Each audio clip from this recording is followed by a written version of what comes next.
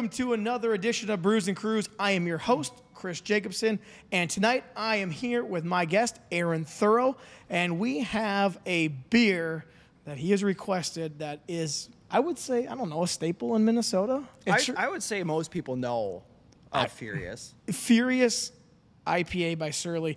It's based out of uh, Minneapolis, and Yep. actually I was there. I'm going to talk about that. But you requested this one, and this is like, to me, this is the first IPA I've ever had. Okay. I've- yeah, and when I first had it, I'm like, mm, this isn't my It's a tough one to start with. It is. You know, just just because it is darker. It It is. is stronger. You know, and now everything, everyone kind of uh, goes to like hazy IPAs or Oh yeah, don't worry, I know. else. But Look at the bottom; it says aggressive. If that doesn't speak volumes, so but we're gonna crack these. Is this not? Is this not like the most popular Surly? I mean, you said oh, you were this just is there. definitely the yeah, most okay. popular Surly for sure, dude. Um, crack one of these bad boys open. Surly, if you ever want to sponsor me, just letting you know. Right, more just throwing that out to. there. Yeah, just throwing it out there. Literally throwing it out there. Oh, goodness. Here come the rest of them. We'll have some, we'll have some backups here for you. Yep. So I love the podcast because it's just so raw. Oh yeah. Let me crack mine here. This is a good choice to have. Everyone will know this. Yeah. Cheers, buddy. Cheers. I don't think I've had Furious in a while. I had it recently. and it wasn't at a golf tournament that you and me were at. It was actually at a golf tournament that Sure. I was at for Leighton Broadcasting. Do you ever feel like um, you go through seasons with drinking? With drinking or drinking certain beers? Yeah, well, just in general, right? So, like, I would say I drink less beer in the wintertime just because you're not outside, summertime. It's, it's refreshing. It's like I switch more to like a cocktail or an old fashioned. I've never thought about that, but I'm going to say probably not.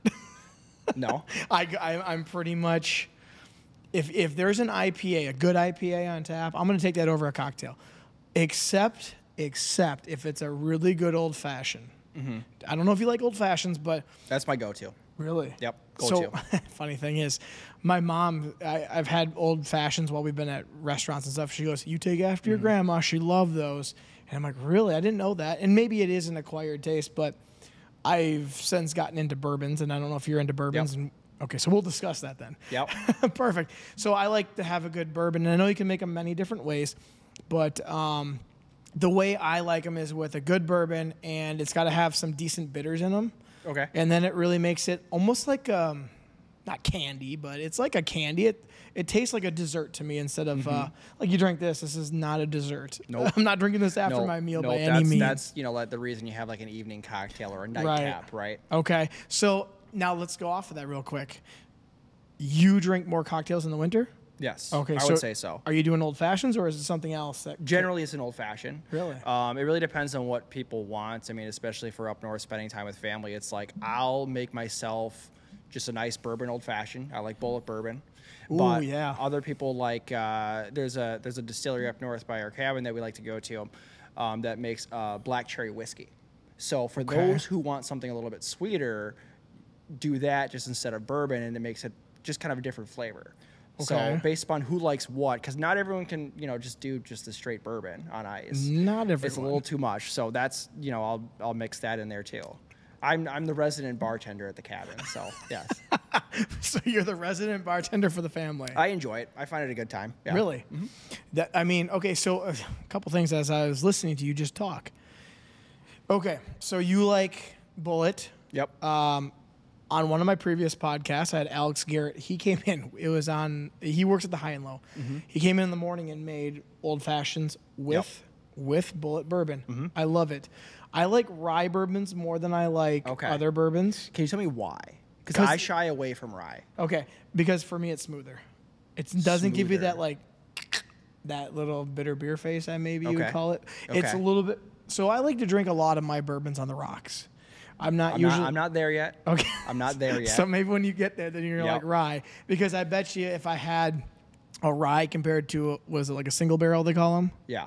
I bet if I had that in an old fashioned, I probably wouldn't be able to tell you the difference. To be honest with you, Right. but if you give them to me straight up or on the rocks, I will know the difference for sure. Yep. So I like that. Now the other question I had is, have you tried? And I think I asked someone someone on a different podcast. Have you tried Bulleit's old fashioned mix that Nope, they? I've No, not tried, never tried it. that. I- Okay. I, don't know. I'm kind of against it, right? There's something about making the old fashioned is making the old fashioned. Sure. right? I, don't, I don't need a ready mix. Okay. So then when you make make it, how are you making it then? Because I want I want to hear this because you're Pretty, the resident pre- pretty simple. So I'll um I like to use a Yeti cup or if I don't have a tumbler or something, put it in there, put it on ice, put in the shot, shot and a half of, of bourbon, um, and then put in, depending on how much bitters you like, anywhere from three to five dashes of Angus Angostura Angostura. How do you say it? You tell me. Bitters.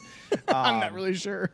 and then um, depending on either if you have just regular simple syrup that you can buy at the grocery store, or if you want to make it, then you can do uh, brown sugar and water. It's just one to one ratio. Mix that and use that as your simple syrup. Oh, okay. Um, gives it a slightly different flavor. But then you just put in a couple teaspoons of that, and then just let it sit over ice. Then I pull, pour it over a single cube, and then garnish it with a little orange. Ooh, Ru- yes. rub it around the rim, and then you squeeze the orange just to, just to release the um, just the scent of it a bit, just to kind of take away the alcohol smell. See now that sounds fantastic right now. That was my only other alternative I thought about. So we'll do that on the next podcast. All and, right, and, we and we'll do do, we'll do a little mixing class. We're you're, we're gonna start your baking or your your um, mixology show. Mixology show. Now I do remember the last time I had this. It was actually you and me were golfing, which was just last week at Cedar Valley. Oh yeah, I I shied away from that just because it was 95 with a heat index over 100. Doesn't matter for me. Doesn't matter if we win though. no, it didn't matter to me if it's 95 or it was 65. I'm Oh, still we- drinking an IPA. Yeah, but that was a rough day. that was a rough day. But we won, we did win. so there's that. Rolled the dice well.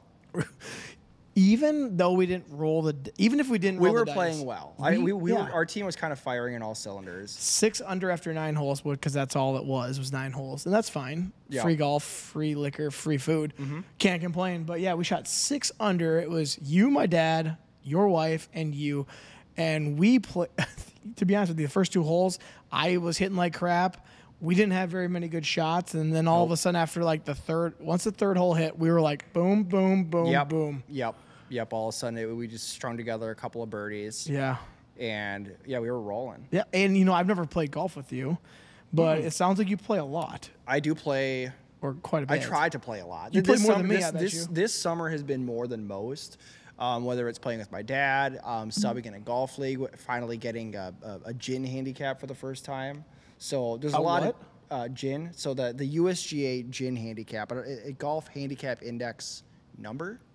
Oh. I believe is what it is. Okay. But it's, it's a subscription you pay for. I think it's like 50 or 60 bucks a year. Okay. But then you can enter in handicapped tournaments. So it's something Chris Thrun and I about, talked about, like, hey, now that we both have handicaps, we can start entering into these, you know, one-off tournaments and you know play other golfers who are probably significantly better than us, but because it's handicapped, you know, it levels the playing field. Yeah.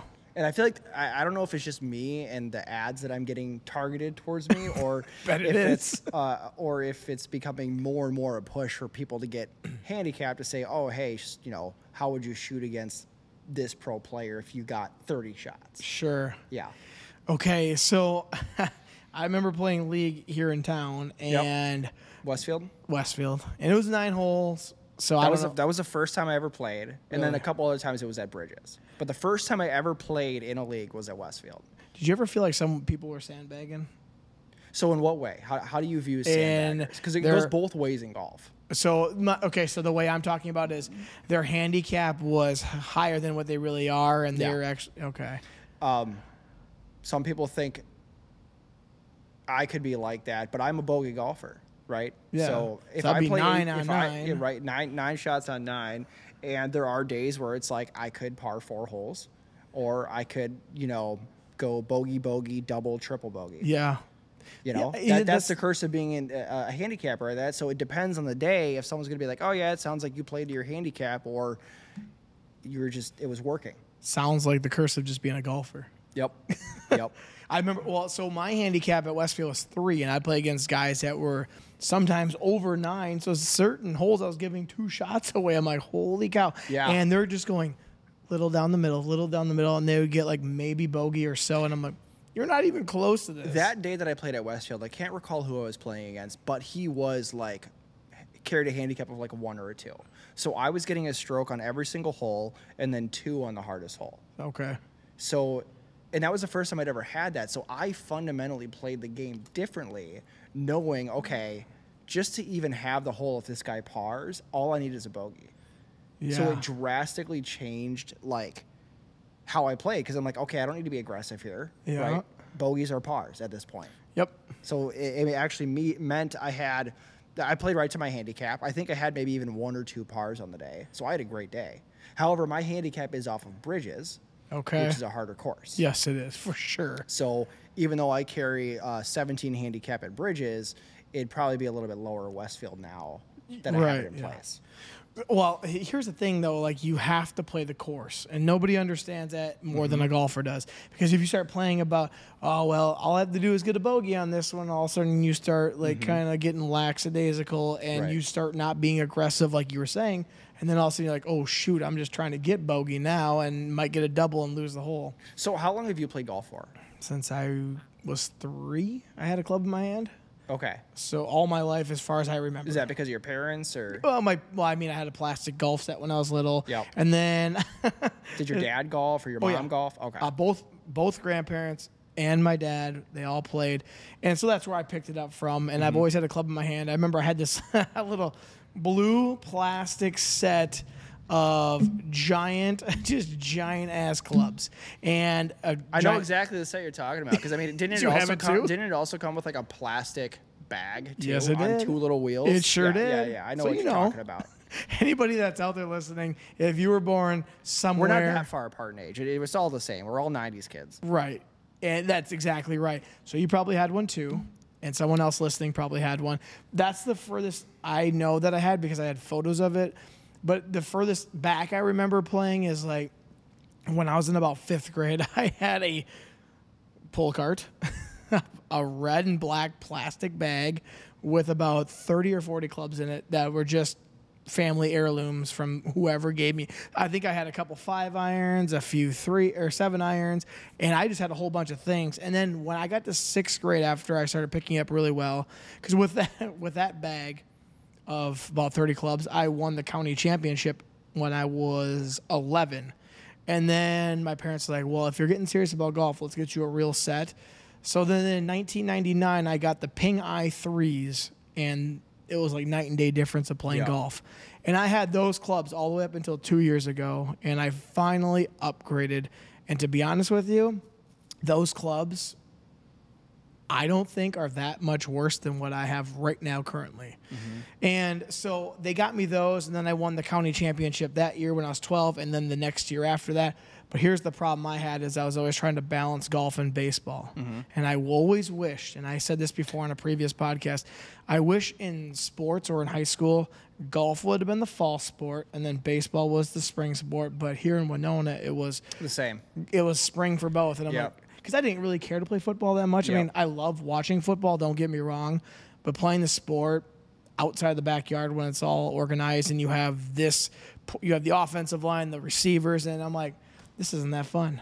This isn't as fun. So I did get very serious about it. And that's when I remember really playing as about fifth grade. I really remember it. Sure. But I know I have photos from when I was a little kid swinging clubs and stuff like that and playing with grandpa and grandma and stuff. I feel like the sport's become a lot more accessible now. Not sure if that's a COVID thing or if, if it's a result of COVID. Um, but uh, I feel like you take a look uh, at three year olds and you see them on social media. They're swinging regular clubs 150 yards. So I don't yeah. know. No, no more plastic clubs anymore. I don't think so. I mean, now they make such good stuff for like you can get like a whole set for like fifty bucks for a child. Yep. Just to see if they're any good. Yep. Go to a used golf store like up in Rochester. Oh yeah. and you can just get like a whole bundle of like legit nice irons, right? Like Yep. Callaway irons, Titleist irons.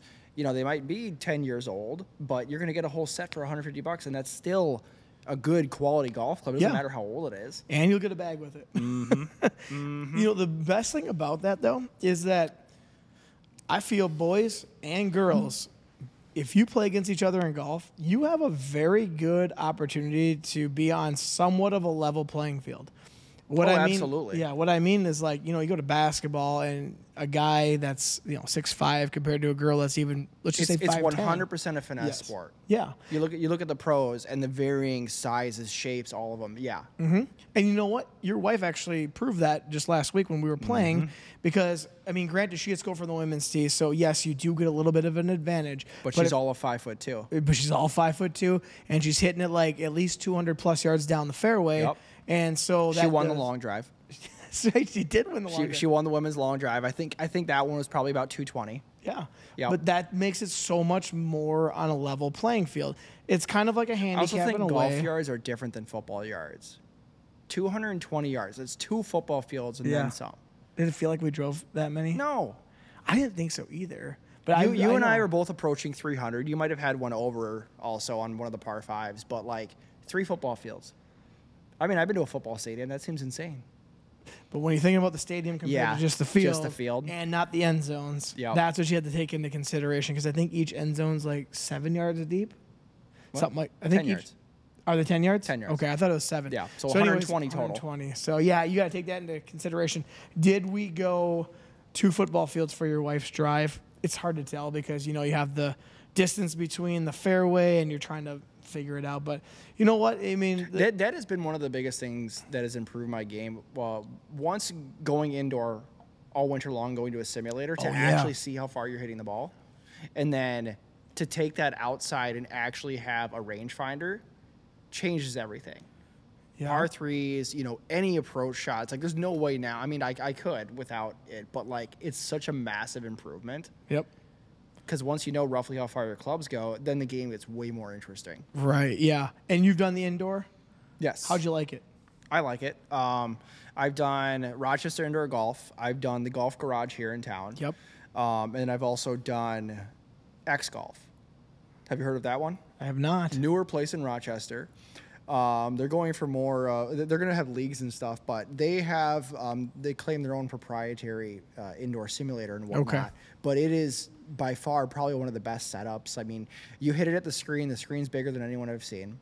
Um, the grass uh, is sloped back towards you, so the ball goes back into a funnel and it places it on the tee for you. Oh, you know, I've seen that on TikTok. Yes. That's sweet. It's extremely high end. You know, all the buttons are laid out on the floor versus having to go to a screen if you want a mulligan or something. Oh. So it's as simple as just tap the button with your foot or with the golf club and just do it over again. But the screens there are huge. I mean, you're gonna you're gonna pay a premium for it. Sure. But It's okay. on a wintry day where you're looking to go and you know on a Sunday and watch some football and you know play nine holes of golf, I think it's worth it.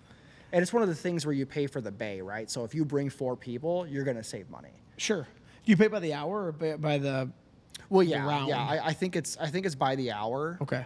Um, I, I I honestly couldn't tell you if it's discounted if you're only one or two people. Sure. But I do remember from the few times we did do it, if you did bring like four or six people, I mean, it's going to be the same price Okay. at that point. So they must charge by the hour because Yeah. it's like bowling. If you have six people on lane compared to one, you're just gonna get more games, and it's all that's gonna happen.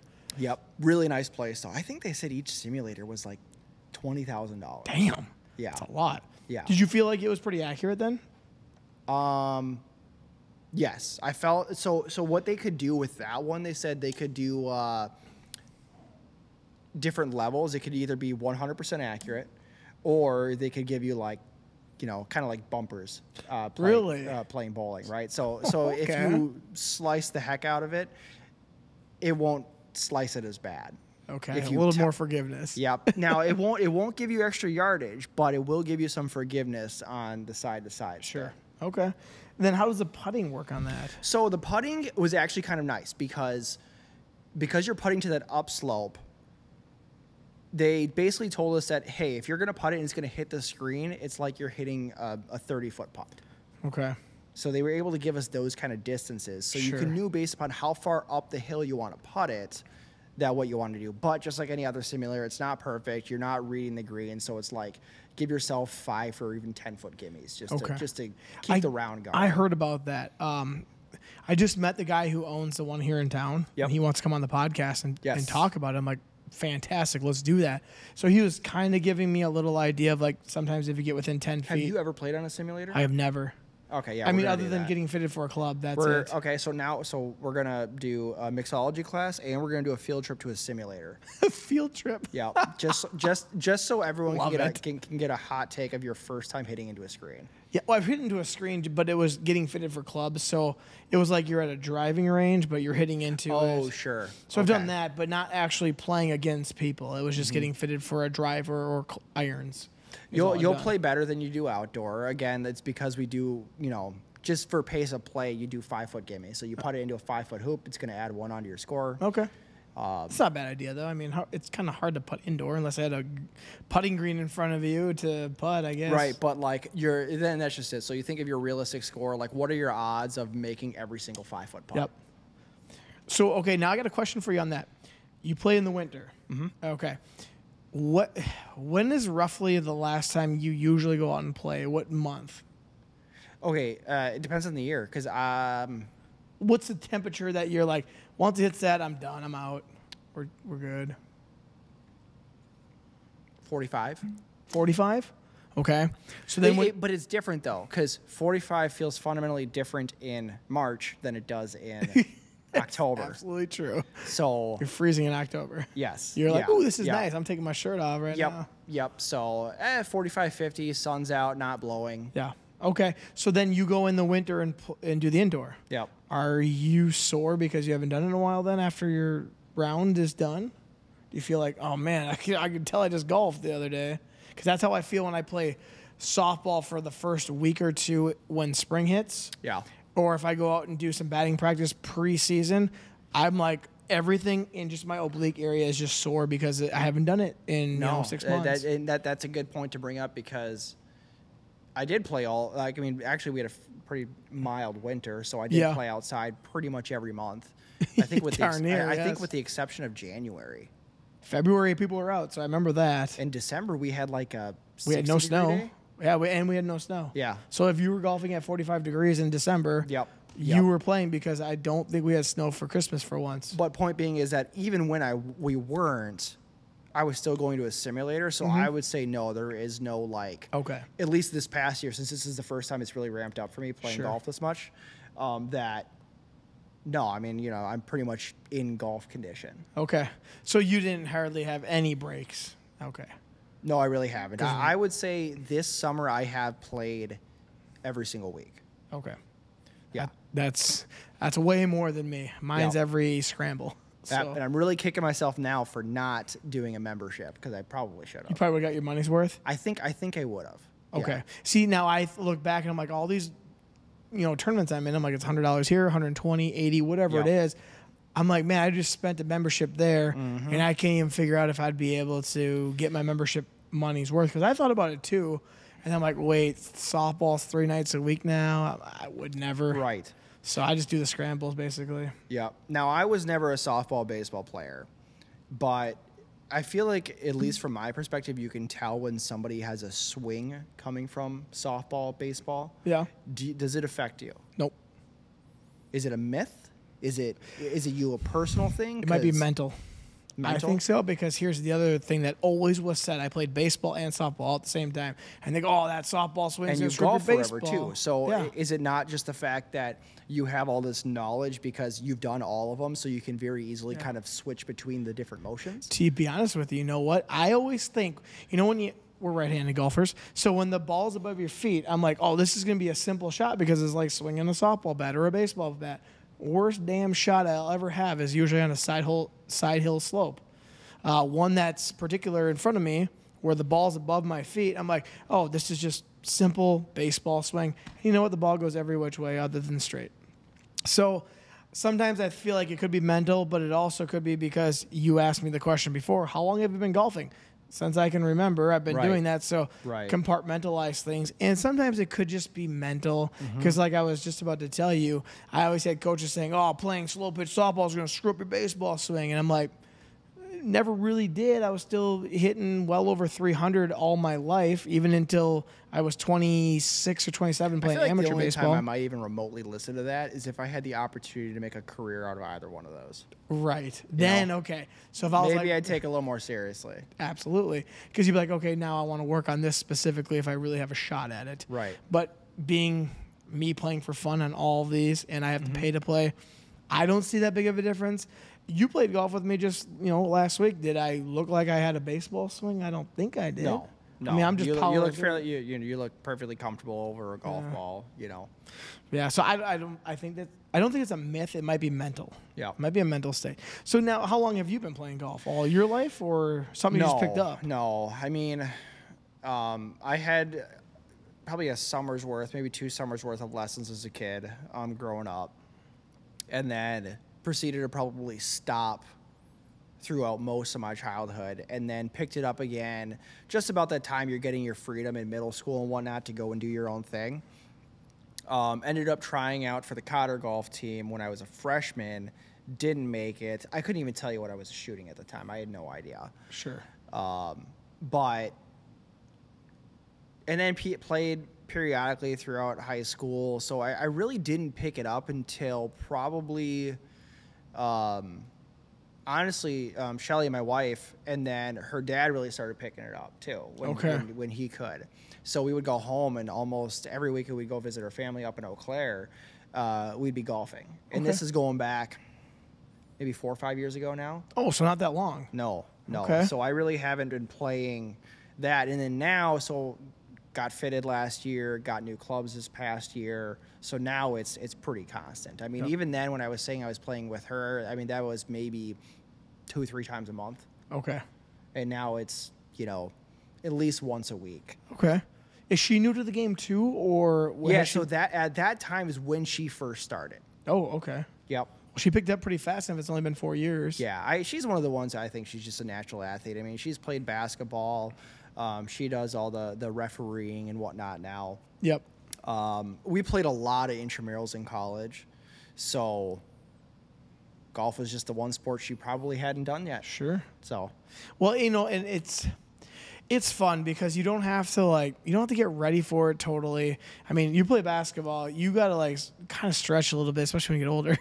but you can't go out and just kind of one sport I can't do is basketball. Really? You do not. y yeah, you don't want to see me try and dribble a basketball. I started the gym one time I can, watching I- basketball. I, can sh- I can shoot hoops. Shoot hoops. I can shoot hoops. I cannot play basketball. Well, I- you know, and that's the funny thing though, because when you go to a golf course, you get to. Some people don't think it's relaxing. I kind of do. I think it's a sport where like, oh, I can go have a beer and I'm I think gonna it's be okay. peaceful. Um, whether you are for or against the music, I mean, it can be as peaceful as you want it to be. Mm-hmm. But to me, nothing is better than Saturday, Sunday morning. You know, I, I personally like a nice like 7:30, 8 a.m. tee time, Really? coffee on the course, Damn. and it's just quiet. Okay. There's still there's still dew on the fairways. If it's a nice course, maybe they, they cleared off the greens. But that is that that is my idea of like a perfect morning. Sure. Yeah.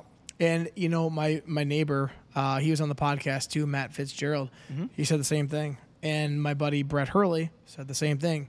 He likes to get up at like eight and play, even if it's just nine holes. You're done by ten, he says, and then you still have the rest of your day to yourself. And I'm like, man, that, that you know, the difference is though. I go to the gym at you know five in the morning, and they probably, you know, everyone else probably thinks, oh, geez, that sucks. Yeah, Do you work out on an empty stomach? Mm-hmm. Yeah, I don't like having food in my system. I, I'm the same way. Yeah.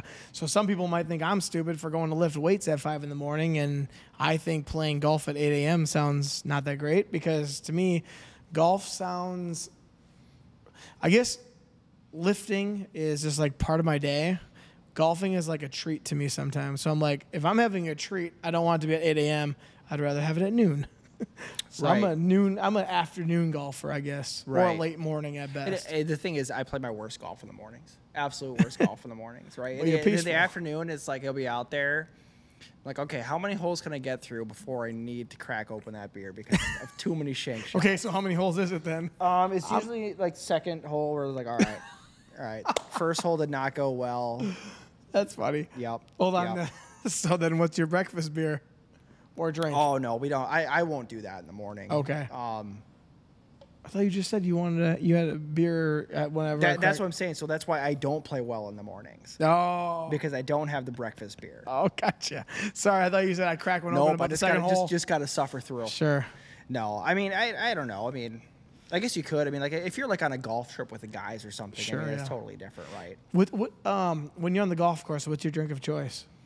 'Cause I don't Um, think you're getting old fashions out there. No, no, it'll it'll just be a beer. Yeah. Um, Ideally, light beer of choice. That was the only other one I was going to consider for today. Uh, Kona Big Wave. That's my light beer. Okay, a lot of people like that. Yep, yep. So that's that's pretty much one.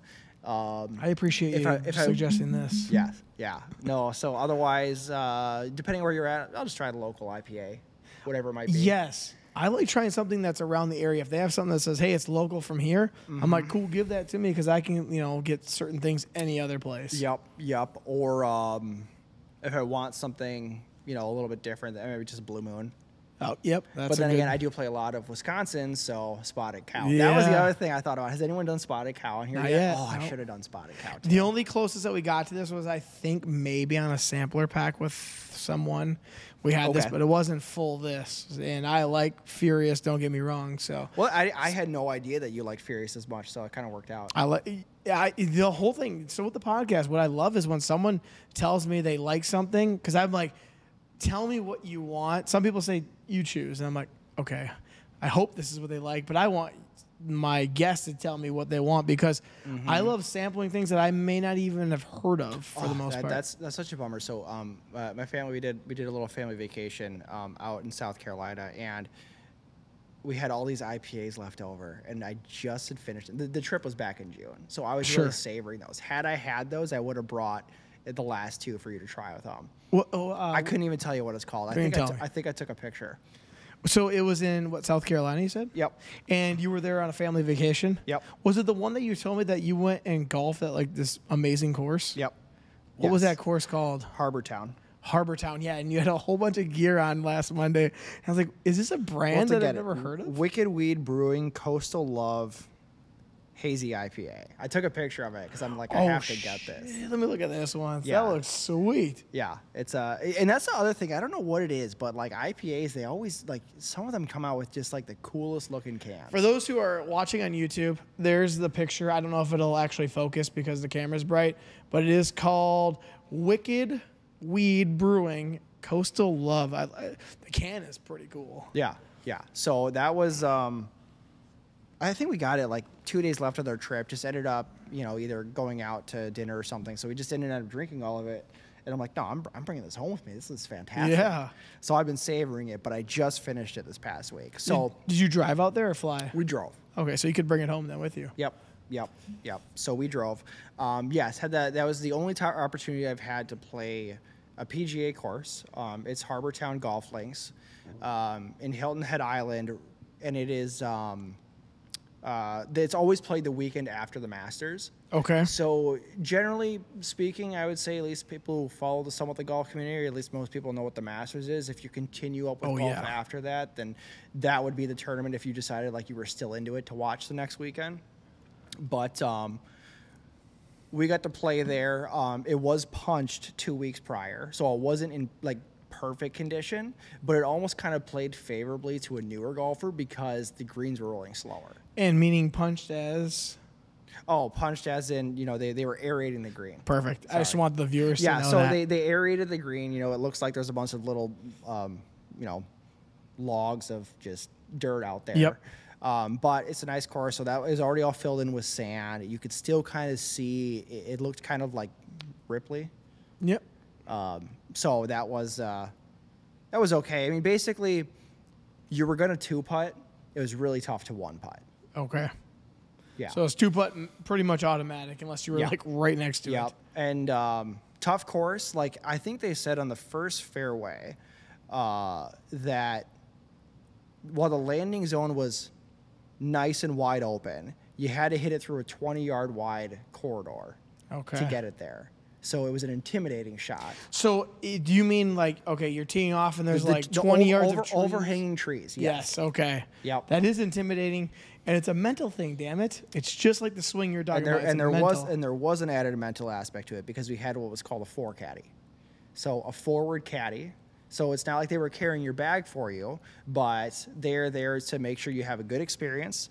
They go down range, so they watch where your ball lands, which is Oh, super nice, because. I was playing with my dad and my brother-in-law, who, um, you know, between the three of us, we're probably not going to hit every fairway, being honest. No, yeah. So, and I swear they have eyes like a hawk. They are just used to it.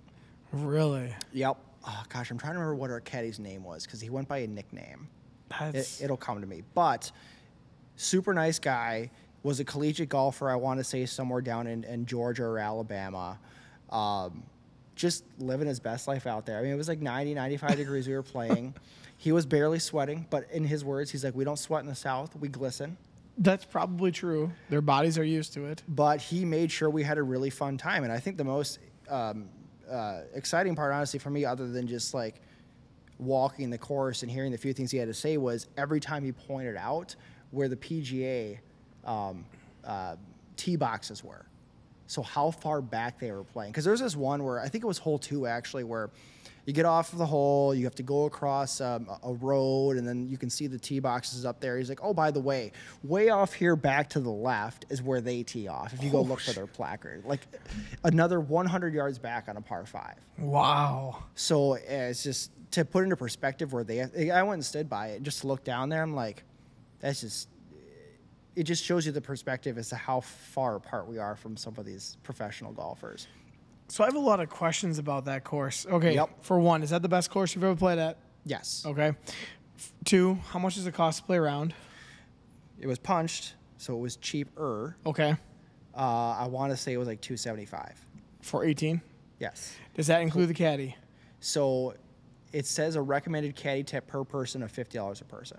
Okay. And then So you can expect that that caddy's making at least two hundred dollars a tip per round if you have four golfers. so you tip them too. yes. Okay. Uh, that was So my if- next so question. let's say in reality, you know, 325 to 350 around. Yep. It's probably, I think, you know, under normal, nice, perfect conditions, 500 around. Oh wow, that's Uh, they have three courses there. That's the most expensive one because that's the PGA course. Sure. Um, but then they also have Atlantic Dunes, which is the original course on the island, and that one goes out to the actual Atlantic Ocean. This one's in the harbor, so it's in between Hilton Head Island and the coast of um, South Carolina and Georgia. okay. And then Heron Point, which is one of their newer courses, and I honestly don't have enough information about it. Okay. But what's super nice about this, uh, compared to a number of other PGA courses, it is completely public access. This isn't a private course. Okay. But what was super cool about it was once you're done, you get to go to the locker room. Oh, like where the PGA guys? Correct. Oh, You walk nice. the only way you can go there is after playing around a round of golf. You need your scorecard to come in there. And they have kind of a full menu. Uh, you can get, I think they say like the, your, first beer is a dollar. Um, so just kind of little Really? little. Yeah, right. Yeah, you Wow. pay, you pay three fifty a round, but your first beer is a dollar. in The clubhouse Perfect. Afterwards, um, and yes, you can see the lockers in there, which do have all the gold-plated names. I mean, you see Tony Finau, Rickie Fowler, um, uh, Scheffler, all of these guys. So it's just like That's really cool. it's crazy. It's crazy. Um, no, the one thing that kind of really set into me is to like when you're actually playing on the course, and it was on the 18th hole. I had a great drive. I was super pumped about it because all I want to do is it's you. There's this big lighthouse in the background. It's a picturesque hole. Um, hit the fairway. Second shot, I landed in the green side bunker. And the and the caddy looks at me. He's like, "Hey, Matt Matt Kuchar got up and down from there. You can do it too." Oh, yeah. And, and you're just like, perfect. Well, one, I can't because I'm not a pro, but two, to realize you're in the same position they were. I don't think you can say that about any other sport. That's pretty cool. You're not going to say that about football, right? You know, You are not probably gonna be on a football field now. was it fourth and one? All you got to do is run the ball, right? Yeah. Nope. It's not, that's not what the Seahawks did, that's right. Yes, that's right. They passed it for some reason. right? No, that that's I, I can't say perspective, I can't say I ever came back from 28 to three, losing to the um, Atlanta Falcons. No, but you can say you're at the same spot as a pro was because Mm-hmm. he was in that same exact spot. Yep. You know, and I I think that's just what's really kind of neat about the sport because I think, and I've said this before um, to other friends and whatnot, but at any given moment, we can hit a tour worthy shot. Yes, that's right. And you could probably even outdrive some of the guys, possibly. Mm-hmm.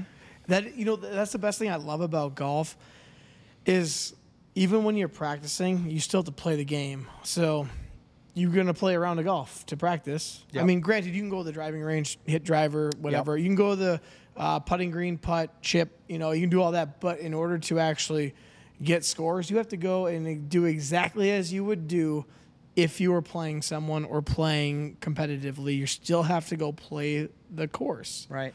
That is the fun part about golf. That's why I always loved it because for one, that reason. For two, you can't blame anybody else but yourself. Yep. And that's just it, right? You, you can look at competing scores with you know your buddies and whatnot, but at the end of the day, it's you versus yourself. It really is, and your that's what golf mental state. Yeah. Yep. So I mean, in the, at the end of the day, I'm just, especially now I have a handicap, right? I'm, I'm just playing myself to lower my handicap. Yep. Uh, well, th- exactly. Try to improve it because Yep. some people are like, well, don't try to improve it because obviously they want to sandbag and try to get the highest one they possibly can get away with, Mm-hmm. Right. whatever that means, and then you can go beat people by Right. getting a stroke or whatever. Now, my next question after that was, did you use carts or did you have to walk? We had carts. Okay, so Yep. they do have carts then. Yep, that was kind of a that was kind of a thing, you know, making sure you know make sure it was accessible for my dad and whatnot, and um, the biggest thing they do it out there is you know pace of play too, just to keep things moving. Yep. Sure. But I do know other courses like uh, if you were to go play um, Whistling Straits over in Wisconsin, it's like that. That's a true caddy, right? So you're gonna have uh, a caddy carrying your bag. You're gonna walk the course. Um, another thing I understand about that too uh, is that you better make sure you don't have like 20 golf balls in that bag because your caddy is not gonna like that.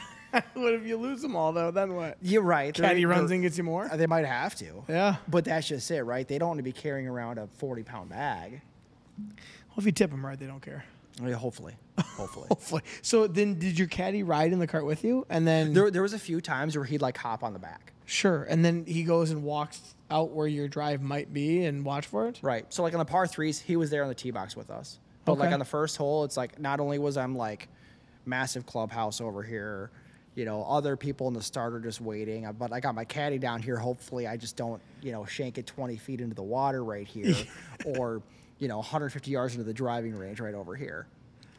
Um, but yeah, so and it's nice because then he, he gives hand signals. So if, if he puts his hands up like it's uh, the field goal is good, I mean you're in the fairway. Sure. Um, if he puts his hands out like it's no good, um, then it's uh, you know then you know you're in the rough. Yeah, Um, and then if he puts two hands to one side or the other, that means you're out of bounds. Oh, really? So there's hand signals. Yeah, That's yep. cool. And then also there's one more like it's a down kind of signal if like you're in a bunker or something or in some sort of a um, hazard. Yeah. Oh, Um, that's really cool to know. Right. So, you know, if if he's giving you the signals where two hands are going to one direction, it's like, okay, well, I'll re-tee or drop up there. Sure. Yeah. But no, it's very nice. The most, the the closest one I've played at professional wise was um, Spirit Hollow. I believe it was what is called in Burlington, Iowa, and I think they had a couple years for the it was the qualifying rounds to get to the U.S. Open in like '99 and 2005 or six or something like that.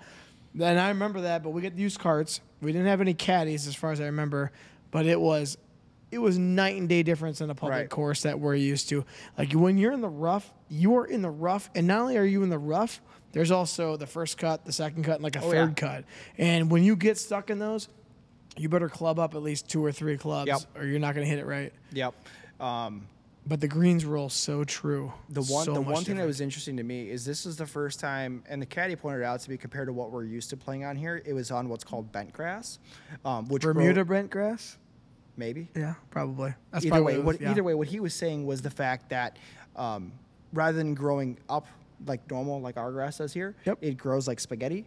Sure. so that you know it doesn't get real grainy for putts but if you're anywhere on the fringe where you're trying to hit a really nice finesse shot it's just going to grab your club Oh, really? Okay. so he's like it definitely because there was a number of times where i would just absolutely you know duff a, a, a, a little chip shot that i wanted to go 10 15 feet and it went two feet right. because yeah. it just my club just went right to the ground and the grass just grabbed it. So that was the first time I feel like I'd really noticed the impact of like, well, different grass is different grass. But, Sure. You know, Well, you know, and that's what people got to realize. If if you're a golfer out there listening to this, go play at like a professional or at least a course that's had some professional rounds on it, and you'll see the night and day difference of your public local course compared to that. I have found myself now having played a number of courses. I've actually finally started collecting golf balls for all these courses I played on, which I'm really glad I did because I have more than I thought I did. yeah. Um, I, I'd like to, I don't know, maybe ten or fifteen different courses. I'm like, Okay. that seems like a lot, honestly. To me. That's more than me because I don't really get out that often. but now they have they have, they have you know courses that are named now like oh the, the, the Gary Player course or a course designed by um, oh gosh I'm trying to remember who designed that course down there or, or an Al- or Arnold Palmer course so it's like I find myself looking for those courses that have names associated with them Sure. because well one you know if you're going to attach your name to a course you expect to have a certain level of uh, of you know, Prestige, at least. Right, right. Yeah. And then also, oh, Pete Dye, that's the one. Okay. Pete Dye does a lot of courses. He did, um, he, his crown jewel uh, is called the the Harbour Town where we play. There's a whole room dedicated to it. But he also did um, TPC Sawgrass in Florida, Okay. which has a pretty iconic 17th hole, almost an island green for a par three. Um, where if it comes up any short, it's going to roll off the front into the boardwalk and into the water. So you hit And the then I- green. you got to hit the green. Gotta hit the green, You got, you got to hit the green. You got to hit it up high enough. Um, I know he has one in Indiana um, called French Lick. That's extremely popular. And like Great you name. know- well, yeah, yeah. But at the same time, at the same time, uh, you know, Indiana, right? What, what does Indiana look like? I mean, we know they have uh, the uh, was it Great Dunes National Park. You tell me. But- I've never been to Indiana. Well, I guess I have I've been. driven through was- Indiana, the farmlands parts of it. Sure. So that's my perspective. Yeah. Um, but sorry, I got distracted here. Does anyone else comment the fact that Elvis is staring at them during the podcast? No, you're the first. No. Doesn't Well, it feel there- good to have a celebrity looking There, at you? is Elvis staring right over here, just by the way. He's actually curling his lip at you. Yeah, he is. He Uh, is. But no, I mean, celebrities come here and watch all the time. I It's, figured, it's crazy. I figured. Um, you know, so I just want to say it here that I was on the podcast before Joe Rogan. So Yeah, when that happens, That's that's right. Come on, Joe. You can come and hang out too anytime you want, man. But um, to get back on track, I find myself looking for those nicer courses now because like I want to see like okay, so what, is, what does this mean if there's other courses designed by this one person? Mm-hmm. I, I'm just intrigued by it. To see all the other ones they've designed. Yeah, Well, yeah. The have you golfed at the Jewel here? I assume you Yes. may. Okay, I've never, but the Hale Irwin is the one that we go up there once a year, kind of as a treat. Really? Okay. And I need to go there. My neighbor is he's like, we're gonna go there this fall, and I'm like, perfect, because I want to go. And he's coming back on the podcast in like October at some point. Mm-hmm. And he's like, yeah, you should come sometime. And I'd be like, I said that would be fantastic. I've only heard great things about it since it opened in like the late '90s. And Hale Irwin was the one that designed the course, I think. Okay. And so that's when I, when you were going on that track of oh I want to see ones that people have designed. I thought you were going to talk about that one, the jewel. No, no, I have, I, but like I, I do. Uh, I guess I haven't maybe just done my research on it yet, but I am interested in it. Um, have you heard of uh, what Sand Valley and over in um, Wisconsin at all? I have not. No. It's a newer cor- uh, newer place, but they have uh, a, uh, evidently a gorgeous golf course. It's not too far from us here, maybe a couple hours. Oh well, I need to get out more for the golf aspect Right. of things. Yes. Do you? So when you play golf, is it pretty much locally? Is it just limited to like those the tournaments we have around here? Pretty much, unless Yeah. someone says, "Hey, do you want to go?" and I have nothing scheduled that weekend, I'll usually always go if I'm Right. available for sure. I mean, when it comes to like the spring and the fall, if it's a nice day out, I'm usually on a motorcycle ride. I mean, True. just to be honest with you, I'm on a motorcycle ride. I love doing that. But if someone Do you says, ever go "Hey," to any of those um, motorcycle rallies or anything like that? funny you should ask. Uh, I'm going to Sturgis next year. you are. Yes. Okay. That's First all booked. time. First time ever. Yep. I'm going with my brother-in-law Mark, who was on the podcast, Brett, who was on the podcast, Justin, who was on the podcast, Corey Sveen, who has not been on the podcast yet, and he just he calls it Jabber Jabber Podcast Why? because he's never listened to a damn thing. No. He thinks it's just talk, talk, So, talk, which so, it are- is. so are we calling him out right now for just not? Yeah. He's being too afraid to come on the podcast. I think that's it, what it is. I mean, uh, my buddy Brett said it'd be like talking to a brick wall.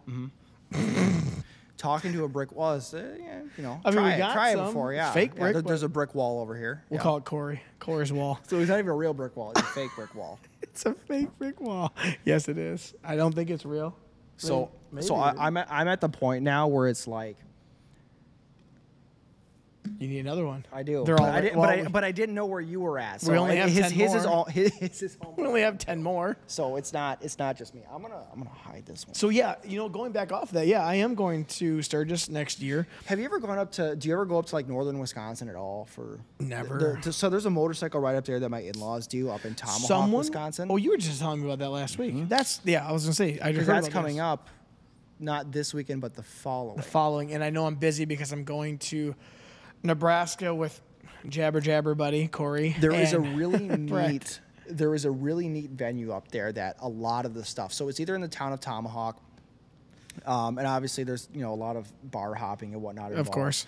Um, but there's a really neat venue um, if you just go north of Wausau up there, and it's called Bonnie and Clyde's Okay, Gangster Park. Gangster Park. Gangster Park. Sweet. It's it's it's exactly this ambiance. Really? It is. It's they have a bunch of different stage setups. Um, they do you know they do the the, the tire um, popping contest or what, what Oh, were they like uh, well, smoke contest where they spin the wheels until they pop or something? burnout yeah burnout, Burnout contest. contest. Yeah. Yep. So they do all sorts of that. I mean you know it's all rock and roll music, but um, evidently a lot of people who like going to Sturgis who want something a little more local. I mean they, they seem to enjoy that. I, if I wasn't going, if I wasn't going to the Nebraska versus University of Northern Iowa game that weekend, I would probably definitely ask my brother-in-law to go up there because he'd so be game for just it. add it to your bucket list of like when you have time to do it. it was up in. Tomahawk, huh? Yeah. I feel like you know that day that you told me about that. I think I looked up that night and Probably I, a good uh, three hours from here. I know, big deal. Three fifteen maybe. Sturgis almost twelve, so we're good. So how how are you doing that? Right? Are you loading everything up in a trailer? So no, we are not. That's You a good riding? question. People ask me. We are riding. So the plan is this: Corey's coming, and he's gonna take his. As of now, he says he's taking his dad's Softail motorcycle, and he's gonna trailer it. I feel like he's gonna buy something before then. That's just me. But otherwise, So I I like motorcycles. I like cars. I don't know nearly as much as them as about you, I, Chris, some of the other guys. yeah, What's a soft tail? it's just the style of Harley. Okay. Um, I don't. Is it know- the kind of thing where it's like if I just Googled it, I'd think- probably I'd probably picture it. Oh yeah. Okay. It looks just like one of the bikes that you walked in and saw. You wouldn't probably know the difference. Okay. I, I think it has to do with the suspension, as far as I know. I think it's just like a softer suspension in the rear is all it is. I don't know because I don't have one. I have a Street Glide, but the plan is that we're gonna leave on August sixth. It's a Wednesday, and we're gonna stay overnight about halfway, and it'll be about Huron, South Dakota, because we're gonna take So highway the middle of nowhere.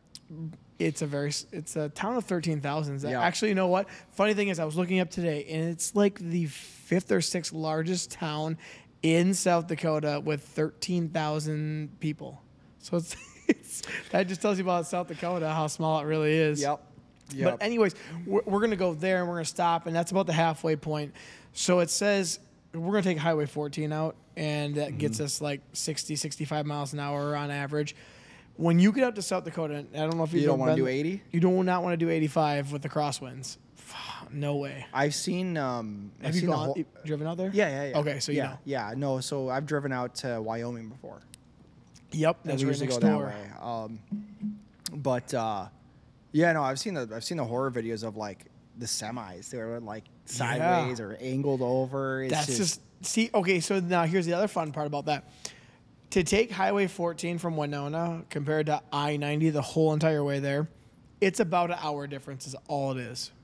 So I'm like, we're gonna take the more fun route or the more relaxing route, and we'll just get our way there. So I said we'll do a halfway point. Huron, South Dakota seems like it's about the halfway point, and then after that's like five hours to get to where we're going.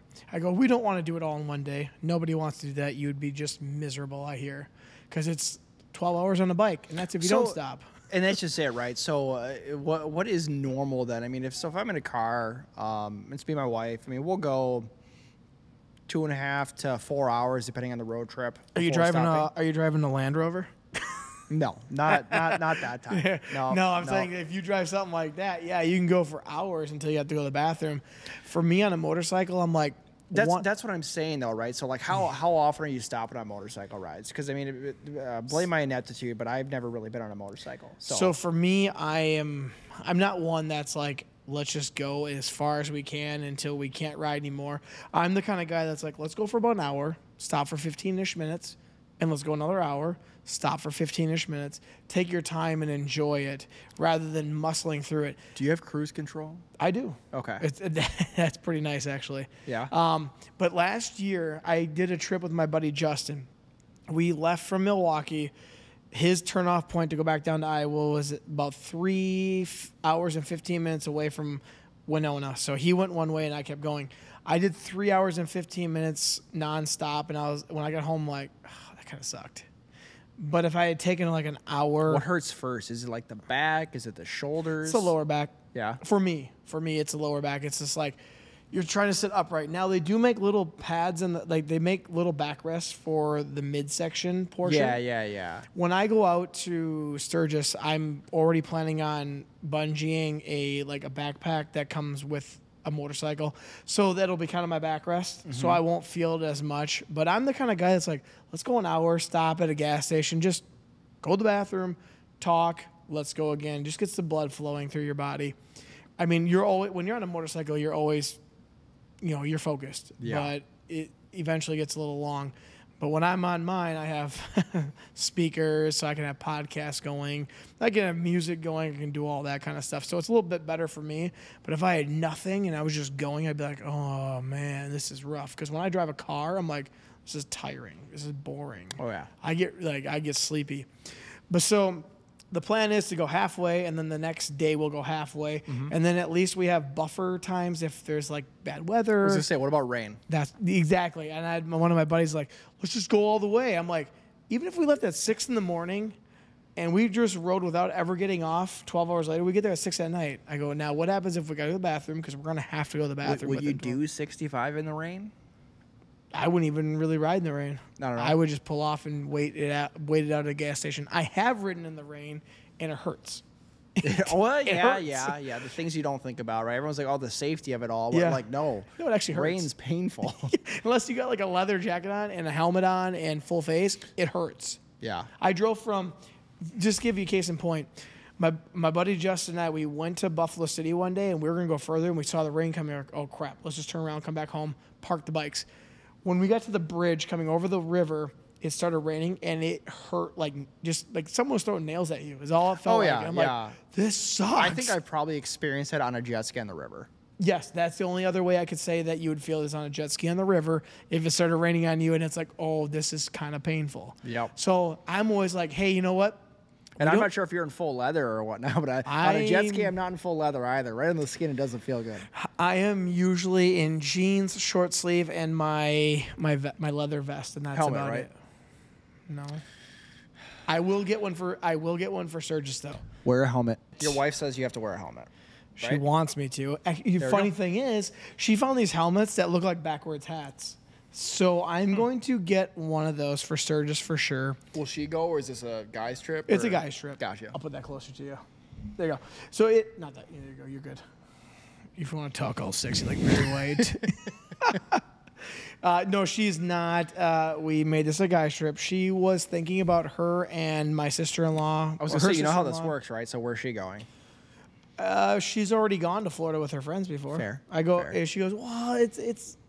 I don't get a girls trip. I go. Wait a second. Back in like 2018, you went with you and your two friends. 2018. to- well, I haven't gone on a guy's trip except for my bachelor party, and that was just golfing, really. Speaking of, Sounds perfect. it was actually very awesome. It was a golf course just north of the Wisconsin Dells, is what it was, and they had some holes. Trappers that, turn, or uh, no, it wasn't Trapper's Turn. That would have been like by the Dells, I think, right? yeah. I have a glass from there. No, it was north of it, like 30 miles. Okay. And the, and some of their holes were replicated after certain Oh holes. yes. Um. And I think one of them was that 17 hole that you were talking about. It is. It, it, it, absolutely is. Because we tried going there not too long ago on. It was like the first gorgeous day we had, like a 70 degree Saturday, but it was booked. Oh, what's it called? Well, as you're thinking about it, what I had to do on one of the holes, and I think it was that hole that was replicated after that. If not, it was very similar. Like if No, you it is. It, missed it the absolutely green- is. Okay. Sawgrass 17. So it was hit the green, like pay hundred dollars, and if hit the green, you get double your money. If you don't hit the green, you get half your money back. I hit the green, and I got two hundred dollars to the clubhouse, which got me a bunch of gear, really. And I have the damn, I have the stuff at home. I can't remember. It's got a little triangle flag on it. Um, I can't remember. And I know I'm gonna get scolded because most of the guys that listen to this were there that day. Yeah. but it was so much fun. We had such a good time. Um, and one of my buddies got a hole in one that day. No. Yes, he did. I've- hole I number like- three he got a hole in one, and I go bullshit. He did not get a hole in one, and all of a sudden, about a hole later, cart girl comes back and goes, "What do you guys want for drinks?" The guy got a hole in one in front of me. He's buying. I'm like, he really did. So we got our drinks. Next hole, I go up. I go to my buddy Jay. I go, "Did you really get a hole in one?" He goes, "Yep, it's my second one." I'm like, second one in your life? Have you ever had one? Nope. Neither, me neither. I've been about six inches away when I was about 15 or 16 at Cedar Valley, hole number 15. The little par three off the top. I I dropped it. It was a kind of a drizzly day that day. At least it had rain. Stuck about six inches away, and I was like, oh. Right. Um, And I was with guys too. Hole number eight at Cedar Valley there. Yep. Yep. The one that um, Chris threw and absolutely missed the green, and we all beat him on. Oh yeah, the one where he just chunked it over by the creek a little bit. Right. And then he had to hit his second shot, which was really good, that was? Shelly still beat him on. Oh yeah, about about that. Um, but no, so that one, it was for a golf tournament too. I'm not sure what it was for, but it was for one where like it actually mattered. Like it would have been for a vacation. I hit the flagstick coming down. Some, shit. somehow stayed within like three feet. She's- Wow. she said just just write it in that like you were the closest. I didn't I didn't get the vacation because I didn't make the hole in one. Um, I think I got a hat for being the closest to the pin, but All the way from that's hat that's to the closest. I've been, and I can't say I've been any closer since. And I can't say I've been any closer since that one I told you about when I was like 14 or 15 years old. Yep, but And I don't golf enough to probably get one, but it would be nice if it was for a vacation or for a car or for something. Well, it's funny that we bring that up because I actually am going on a small um, golf weekend because uh, somebody got the closest to the pin. We had the opportunity, um, Shelly, for my birthday, my 29th birthday, so this is uh, over a year ago now. Um, Oh, you're in the 30 club, huh? I'm in the 30 club now. All as right, of last welcome, month. Or no, as, oh, Jesus, September now. Isn't it? As of July, I'm in the 30 club. When was your birthday? July what? 27th. Ah, my wife's the 29th. But, um, oh, I feel like we've discussed this before. We possibly did. Yeah, but uh, she got a, um, uh, there was a golf tournament. Do you watch much for any YouTube golfers? Bob does sports. Oh, I've heard of. Is that where he like makes fun of people golfing or? No. No, okay, though that might be the John Boy or whatever it is. Yeah, Bob does sports. Um, FP Fat Perez. Fat. Joey, I've heard of that Joey, name, Joey though. Cold Cuts. Oh, Joey Cold Cuts. I Fat have Perez, him on. Fat Perez, Okay. which is what he goes by. Um, he is like the good golfer of the group. Okay. Like he played um because the PGA just had that Creator Cup Okay. not too long ago, but um, she surprised me with um, tickets to play one of their 27 hole tournaments. So 27 holes of golf uh, down in uh, Cantigny National in Chicago, which was beautiful course. Torrential downpour the night before, so it was cart path only. Of course. 27 holes where you have to walk out to every ball was grueling, but at the end of the day, I'm not going to complain. It's a fun golf tournament. Yep. Got to meet some YouTube golfers who were all great guys, super nice to talk to. Actually, all of them very down to earth. But close to the pin on one of the holes, um, my dad hit an absolute knuckler of a shot, like thin to win, right, right at the flagstick. Hits short of the green, rolls up, and I see it bounce off the pin to about like a foot off. Well, he ended up winning close to the pin, which was uh, uh, 54 holes, two night stay at Lake Geneva National Oh damn, that sounds nice. for four people. Even better. So we're gonna do that hopefully later this fall if he's up for it. Um, but yeah, I don't know how we got on this tangent, but I am super pumped to go do that. And I that's would be and that too. is the only prize that while he didn't get the hole in one, it was kind of nice because it was a big tournament. Um, like who else was? They had like like there there was random like I don't know if you consider them celebrities, but like Kyle Kuzma was there. The How do I know that name? NBA player for um, he would be a celebrity, I Lakers, and then um. Oh yeah, yeah, yeah. That's right. He played with LeBron for a while. I don't know if he's still with him. football player was there. Reggie Bush, maybe. Really? That'd be pretty cool. Yeah. Um, They finally gave him his Heisman back, I think. I could be that. completely wrong about that. There was a football player there though. Chris is gonna roast me. Chris Thrun was there Roast as well. him, Chris, He's gonna roast him. me if I was wrong about that. But also remember, he hits the ball kind of like a an amateur. yeah, yeah. Well, we yeah we brought in one of my buddies, Trevor from. Uh, uh, um, he's from Massachusetts. He he was a ringer. We needed him that day. I mean, he carries like a one or a two handicap. Oh, like that's he, he, damn he's yeah, damn near a scratch golfer. Very nice guy. Um, but it was a great, you know, opportunity to play a course. All, and it was a private course, so I'll never play it again. Sure. But um, if people are getting like you know more into like the YouTube golf scene, they're doing these kind of fun tournaments, whatnot. I would heavily recommend it because I Yeah. mean, if you're looking for a golf trip for guys or whatnot, I mean that's the way to do it. I mean they had, they did it right, right? So they had you go because they can only have so many cart girls out there, but they had coolers at almost every hole. It was sponsored by Corona, so it was all Corona and then their their Corona seltzers or um, whatnot. And then almost every like six holes, they had different food. Really? And I'm talking like either people grilling, um, you know, a taco bar, you know, just j- it was all different stuff. So like you know, for as much as they were like feeding you drinks, they were feeding you food as well. Because it was a 27 hole idea. tournament. We were out there all day, and you know how Yeah. tournaments are. 18 is slow enough. Yeah, that's about five hours. So knock on. This was yeah, this was eight talking hours. about eight. Yeah. Yeah. Oh, jeez. Yeah. Yep. You better have food Yep. present because if you have liquor at every hole, that could be really bad. super fun time. Um, Grant Horvat won it. He's another YouTube golfer, but he's uh, darn near pro. Yeah. Um, Sounds like an amazing time. It and, was an and that was your time. birthday gift. yes. Sweet. yes. So and, I still owe her for that one. and your dad was there too, Yep, my dad. My dad and he got too. the closest to the pin. Shelly wasn't even there.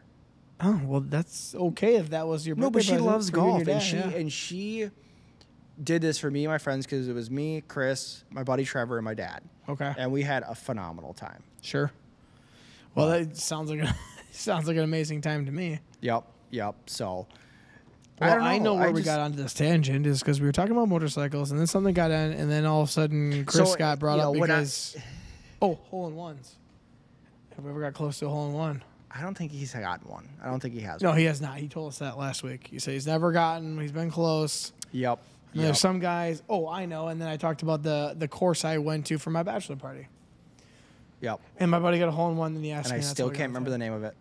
Nope. And we still will always. Um, It's on my bucket list though, because I mean, It was cool though. It was a really neat little place. It's like in the middle of they had a, they had a couple of courses that were, or a couple of courses, a couple of holes from the Masters, or at least one, right? There was um, what's the one where you had the little bridge, the number thirteen at Augusta? That number- Yeah. That one they had a replica of that one. I know that for sure because I had a really nice drive and a really nice approach shot that hit the green, and then I parred it. And I'm like, oh, that was And nice. I parred it. and then my buddy Paul Ebner, he's not a golfer at all. And you know, no, you I know Paul. He takes an umbrella out of my bag or something. He goes, "Watch, I'm Mary Poppins." He goes across the little small bridge that was to get back on it. He jumps in the air Oh, with it, no. and I give him the slow mo video, and he's jumping in the air with the umbrella. And Polly Poppins, I call him. Oh, I thought you were gonna uh, say he's like, you know what? I'm done golfing. I'm just gonna caddy. For no, you, you know, it was funny though because the three guys I was with weren't. So we had eight guys there, four in one group, four in another. how I'm long like, ago was this? Just last September. Okay. Yeah. Yep. Um, yeah, literally coming up on not this weekend, but the next. Yeah. And so we had to split up in four groups, and I was with my buddy Josh Harrison, who's been on the podcast. I was with Paul, who's also been on it, and Dave, who's just recently been on it. And Paul and Dave are definitely not golfers. They're like, we're not golfers. One of them is like, can I just borrow your clubs? I'm like, I don't think they'll let that happen. I'm like, you're probably gonna have to rent clubs. Turns out one guy. Do we know why? Why you have Is there to a reason for that? to make more money? No, I, I understand know. that. I mean, okay, so first off, you guys, you already charge a cart fee for two people Yeah, for one cart. Haunted? haunted. No, will, will these mics pick that sound up, or did we just like pause for no reason? nope. That that'll pick that up. Okay. Yep. Okay. I had a cricket in the background one day, and you could hear it, and the cricket wasn't that loud, and you could hear How it. long was the cricket on there for? Because Uh, five minutes, at least the last five minutes. for the whole episode. If you go back and listen to episode 20, uh, 34, 35, uh, I was with Travis what, Acree. what number is this? This is number 37. Thirty-seven. Yep. That's a good number. It's a great number, I guess. Is it a prime number? It might is. be actually because I don't think anything other than 37 times one can get to 37. I don't think there there's anything else. So we're prime. Yeah. Prime podcast. Yep. the- okay. Yep. Big So- day, big day today too. You know, this is the last day without football for the rest of this year. Ooh, really? That's right. Tomorrow starts the season. It's already Thursday. Damn. That's right. And it's actually It's a short week. It's all we're all thrown off with Labor Day and whatnot. That is true. It's Chiefs versus uh, Ravens, I believe. Ooh, AFC okay. Championship rematch. Okay. I think that's how they're starting it off. Which All that's right. okay. That's fine. Now you're a Viking fan. Mm-hmm. I'm a Packer fan. Lucky you. I am bummed about JJ McCarthy. I never like to see a rookie injured before we even get to see them play. That well, that yes, that does stink too. Um, plus, I mean, I'd rather beat you when you guys are at your best, anyways. So well, it's always happened. I I mean, anytime people go, oh, Packer, you know, Vikings fans like, oh, Packers suck, and I'm like, well, we can't really say that. The only team we can ever say that sucks is the Lions. the Bears. They still have a championship. We don't. Well, there is that. Yeah.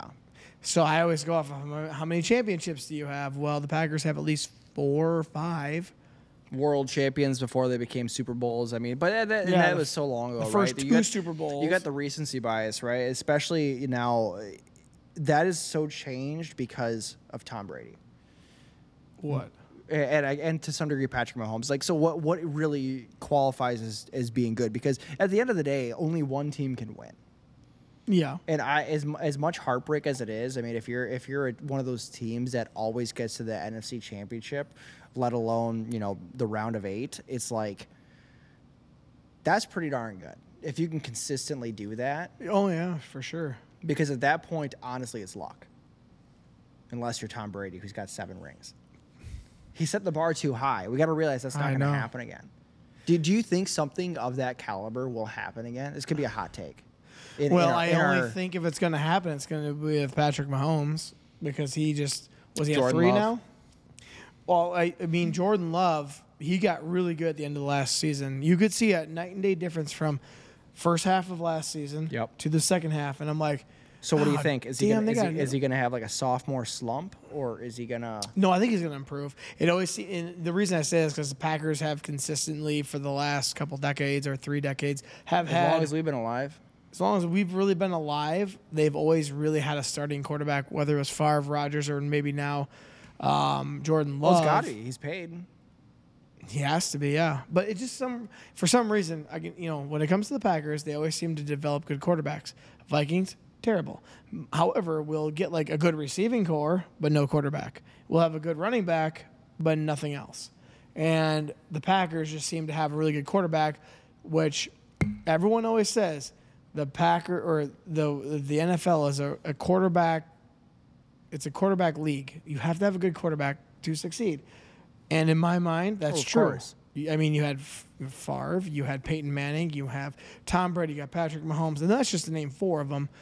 But it always took a good quarterback to get to that next upper echelon of championships. You know, it's, it's interesting to see how um, the quarterback has kind of changed the game of football, but also uh, there's what 32 starting positions, 32 starting quarterbacks, right? 32 Yep, teams. 32 yeah. teams, So yep. so. Uh, and you take a look at how many quarter if you actually looking at the draft, how many quarterbacks are drafted each year, and then every once in a while, um, an NFL meme page or something will post like nobody from this quarterback class is even in the NFL anymore I know. That's so you know, true. do you think you know? You talk about how we develop the quarterbacks as the Packers do, but could it be the scouting? I mean, I mean, it's quite possible. what do you, what do you think? How much do you think of it as taught versus like finding somebody that can be taught? Gosh, I think it has to do with who's your coach and how is their offense run, and then it has to do with who can match that the best. For whatever reason, the Vikings can never get one. It never. I mean, we had Kirk Cousins, and by no means is he an amazing quarterback because he has literally one playoff win, but he has one of the best contracts of all time. And we've had since I think it was 2000, we've had like 18 different starting quarterbacks. Oh yes, yeah. So- you guys are right up there with the Browns. So for whatever reason that has to do, it always has to do with something within there, and I don't know if it's scouting or whatever system we have. But like I said, we've always had pretty. Cursed. it could be that, but we've always had really good like receivers. I mean, Yeah. had at one point we had Randy Moss, Cris Carter, and Jake Reed. Fantastic trio. Their quarterback was Randall Cunningham on his way down. Brad Johnson, who was oh, Brad Johnson. well, actually, you know what? He wasn't on his way down because he did win a championship with uh, Tampa Bay in like 2002, and then he had Dante Culpepper. And once Dante Wow. Culpepper was gone, he was terrible. Yep. Randall Cunningham, we never heard much about. Brad Johnson, I will give. He did get a championship with Tampa Bay in like 2002 or three. you know, I do, I do feel kind of bad. Technically speaking, you guys should have had Aaron Rodgers this season. That, that's exactly what I said. Technically I said, speaking. why are we not repeating history here? He went to the Jets for one year. However, he did get injured. Favre didn't, but he So should maybe be. we're just a year delayed. Maybe next year. You know, I was hoping for that too. I don't care because Favre was one of my favorite quarterbacks of all time. Even though he was on the Packers, I love that he was a tough nosed sob. Like, Oh, yeah. he get hit, he was back up, and he was playing. Yep. Didn't he have the streak for the most starts, consecutive starts? oh yeah, yeah. Yeah. Yep. I'm always like, gosh, that guy just he gets hit and he's back up. He gets hit, he's back up, and he's playing the next Mm-hmm. game. And I liked it. When he came to Minnesota, I was like, I'm pumped. I and he's still one of my favorite players. I'll always say my favorite player of all time was Randy Moss. But Favre is Okay. right back there. But then even we had Favre, we still had a good receiving core. We had Sidney Rice, who once Favre was gone, he Yeah. didn't have much of a year Yep. after that. But right now we have we could have had well we had Stefon Diggs, but we could have had what what would be really cool if we had Diggs, Thielen, and uh, Jefferson. That would have been really sick. And now we have Addison, Yep. who's pretty good. But I don't know what Sam Darnold's going to do. He hasn't done anything s- yet. I And everyone goes, "Well, he was in a bad system." I find um I find the Aaron Jones pickup interesting. yeah, as a running back, Yeah. that'll be that'll be interesting. He's good. He he's still got life left in him, but like I feel, especially with the way running backs are treated in this league, he's definitely towards the end of his tenure. So it's like Yeah, to pick him up is to pick up a good running back. It's like, you know, I don't know if they were thinking initially with JJ McCarthy, like, okay, we're going to have a window here to like try to make a playoff run. And this is going to be our running back for it because I hope mean, so. The guy falls forward for five yards alone, let alone what he runs. Yeah, he's a big guy. So I've seen him. Aaron He's- Jones? Yeah, He's tiny. you think so? He's a small mean, guy. Maybe he's just I don't know. Maybe he's just jacked and it makes him look He bigger. is. He is, you know, 99% muscle, 0% body fat. Well, you know, I when I was at college, um, He's no uh, Eddie Lacy. No, he's no, he was just like a ball, just a ball running out. Yep. No, uh, David Johnson went to University of Northern Iowa, and when I was a senior, he was a freshman. And when the season was over, he'd come play pickup basketball with us. I remember I'm like, man, that guy is pretty jacked, and he was just a freshman, so he's like 18 years old, and very athletic too. But then when I saw him get into the league, I'm like, man, he's even bigger. But then I see some of these other guys, I'm like, damn, they are huge. Mm-hmm. And Aaron Jones, maybe it's just because he's jacked, zero percent body fat. Maybe that's why I think he's just so big. But I mean, The- we'll the, see. The other thing that's nice about him too is, you know, he was a great locker room player. Um, he comes from a military family, very well, uh, very well mannered. You know, very well respected. It's just he like he he was like of any of the losses over the past season. I mean, David Bakhtiari, our left tackle. I mean, he's just made out of glass. Sure. Like, the, the writing was on the wall. Like, hey, you know, it's it's time to kind of move on based upon your your your salary cap and all the other financial things in it. I just don't fully understand that. But Aaron Jones, I was like, oh, like I really just. I feel like he's the kind of guy you just want on your team. So it's a good pickup for you guys. yeah, Um, he came from the Packers, right? yeah. Yeah, that's what I thought. Yep. Yep. So, but we got Josh Jacobs, and honestly, I've heard high praise from him, but I don't know much about Josh Jacobs. Well, and, you know, I go back to the quarterback thing, and I'm saying a quarterback makes a big a big difference in my mind. And here's why I say that: we've had so many great receivers, some top receivers in the league of all time, Mm-hmm. still have no championship, barely a playoff win, if any. And then you go down and you think about some of the receivers that Tom Brady's had. Now, granted, he had Randy Moss for a few seasons, but to be honest with you, I can't hardly name any of the receivers that Tom Brady's had.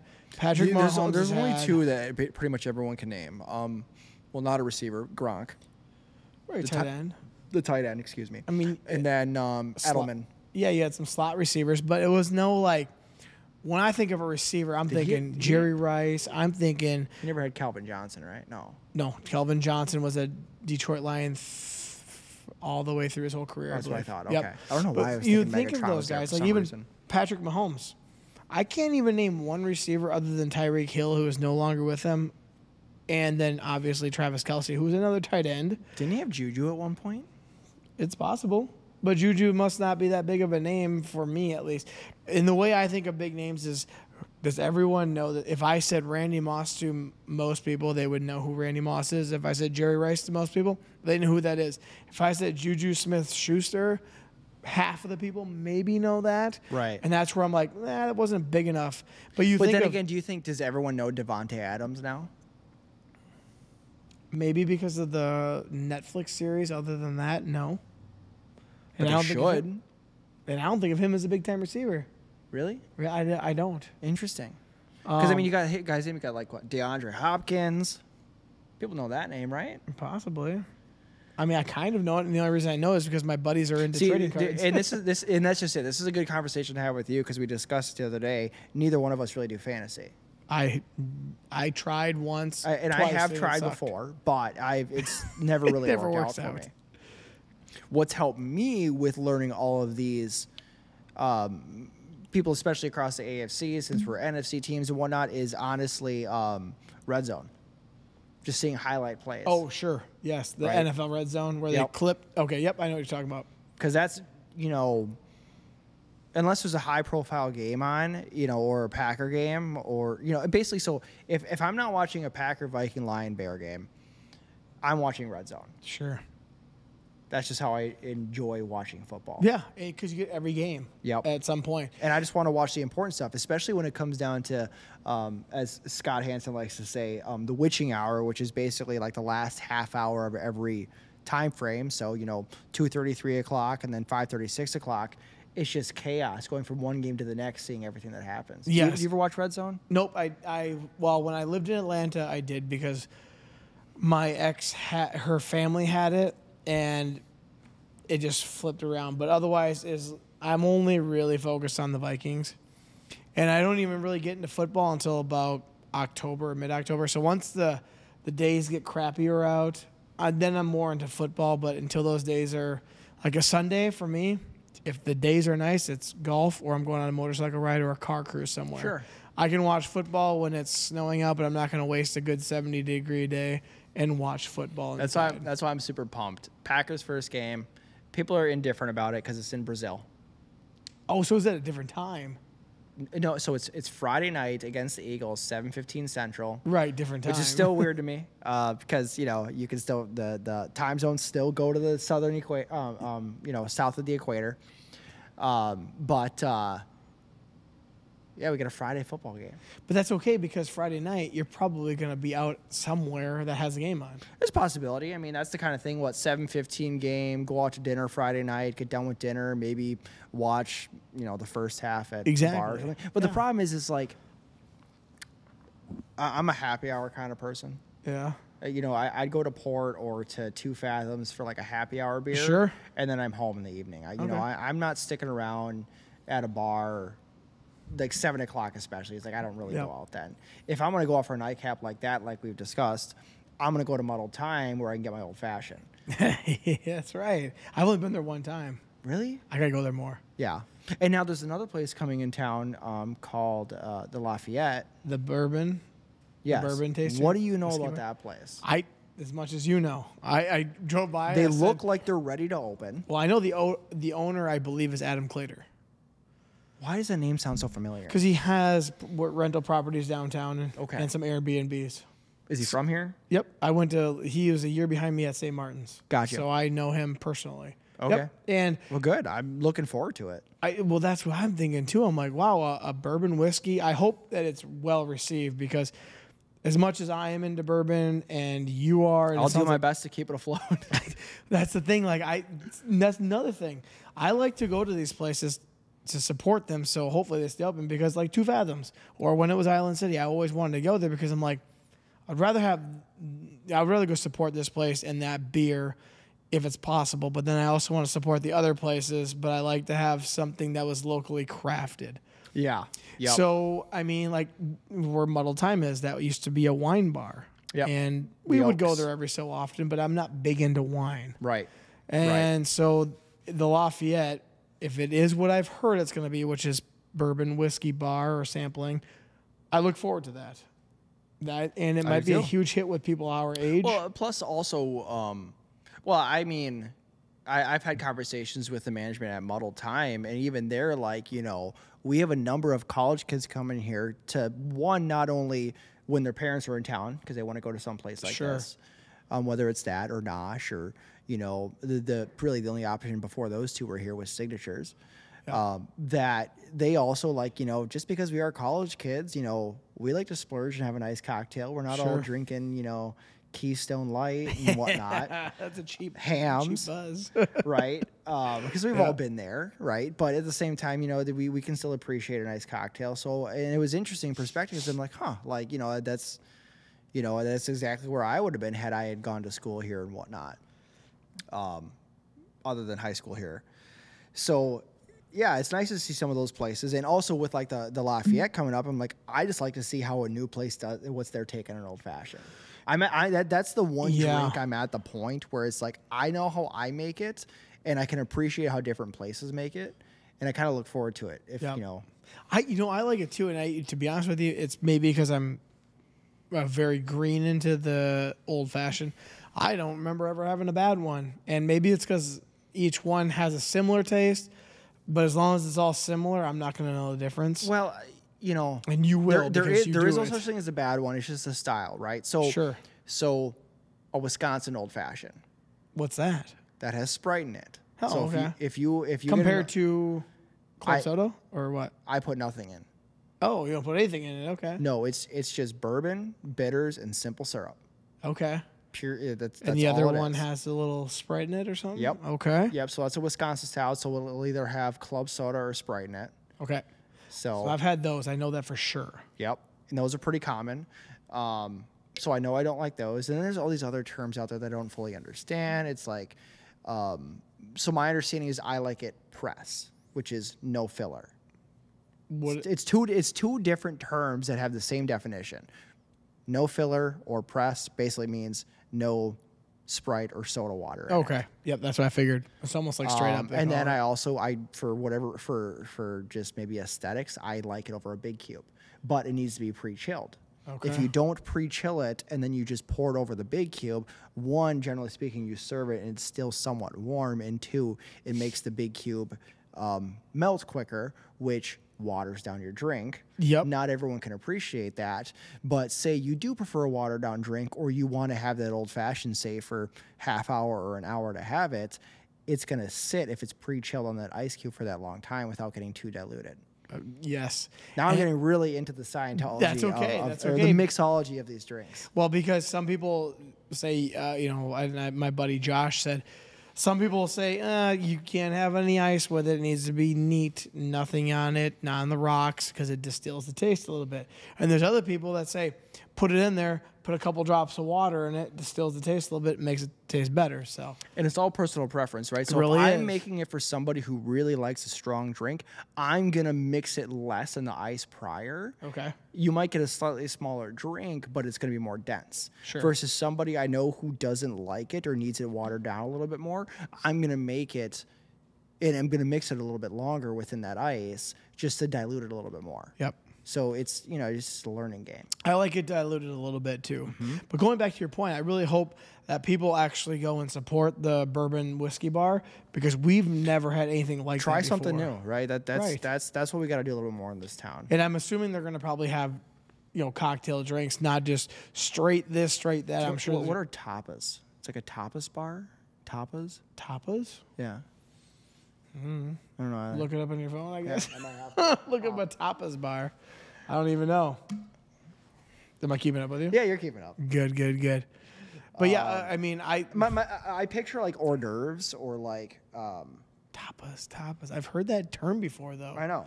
So yeah, you look it up because you're the research guy. My phone's recording us right now. Okay, okay.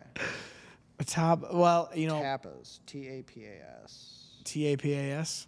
You know what, folks? You're going to find out what a tapas bar is right now. But uh, I, I like my bourbon straight up for the most part. Do you have a favorite bourbon other than Bulleit, or is Bulleit your favorite? Um, Because you said you don't really drink it straight up much, or on the rocks. You're more of the small Spanish appetizers or snacks that are often served with drinks in a bar. So it's just perfect. yeah. So it's just appetizer, snacks. appetizers, Yeah. and you got to have that. You got to have that for sure. Yeah, no, I I like a lot. Um, Other than Bulleit, what would be your other go-to? so it really depends. Okay, right. So um, Bulleit is perfect for making an old fashioned, in my opinion. It's it's just it's a good classic bourbon. But otherwise, if I'm gonna be drinking any bourbon, it's just bourbon with a splash of Sprite. Okay. Right, so I need to gotta need, try that I, I need to put a little something in there. That's what that's what I spend a lot of time doing. So like if I'm getting a mixed drink, um, that that's what it's gonna be. Okay. um, which I don't do all that often. But um, it also kind of hurt, hurts some people's feelings because they'll take a really high end bourbon or potentially high end bourbon and um, dilute it with Sprite.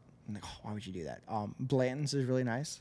I have that. That was on my podcast number two. Eagle Josh Rare. Harrison. Yep. I've heard of that. Eagle Rare is good. Um, not a super expensive one, but it is hard to find, at least around here. One of my favorites that is, and I've said this on previous podcasts. One of my favorites. It's not expensive. It's like forty bucks maybe. Um, Longbranch by Wild Turkey. Long branch. Okay. Yep. And I think someone told me that Matthew McConaughey is the endorser of it. Had no idea. Still don't have any idea.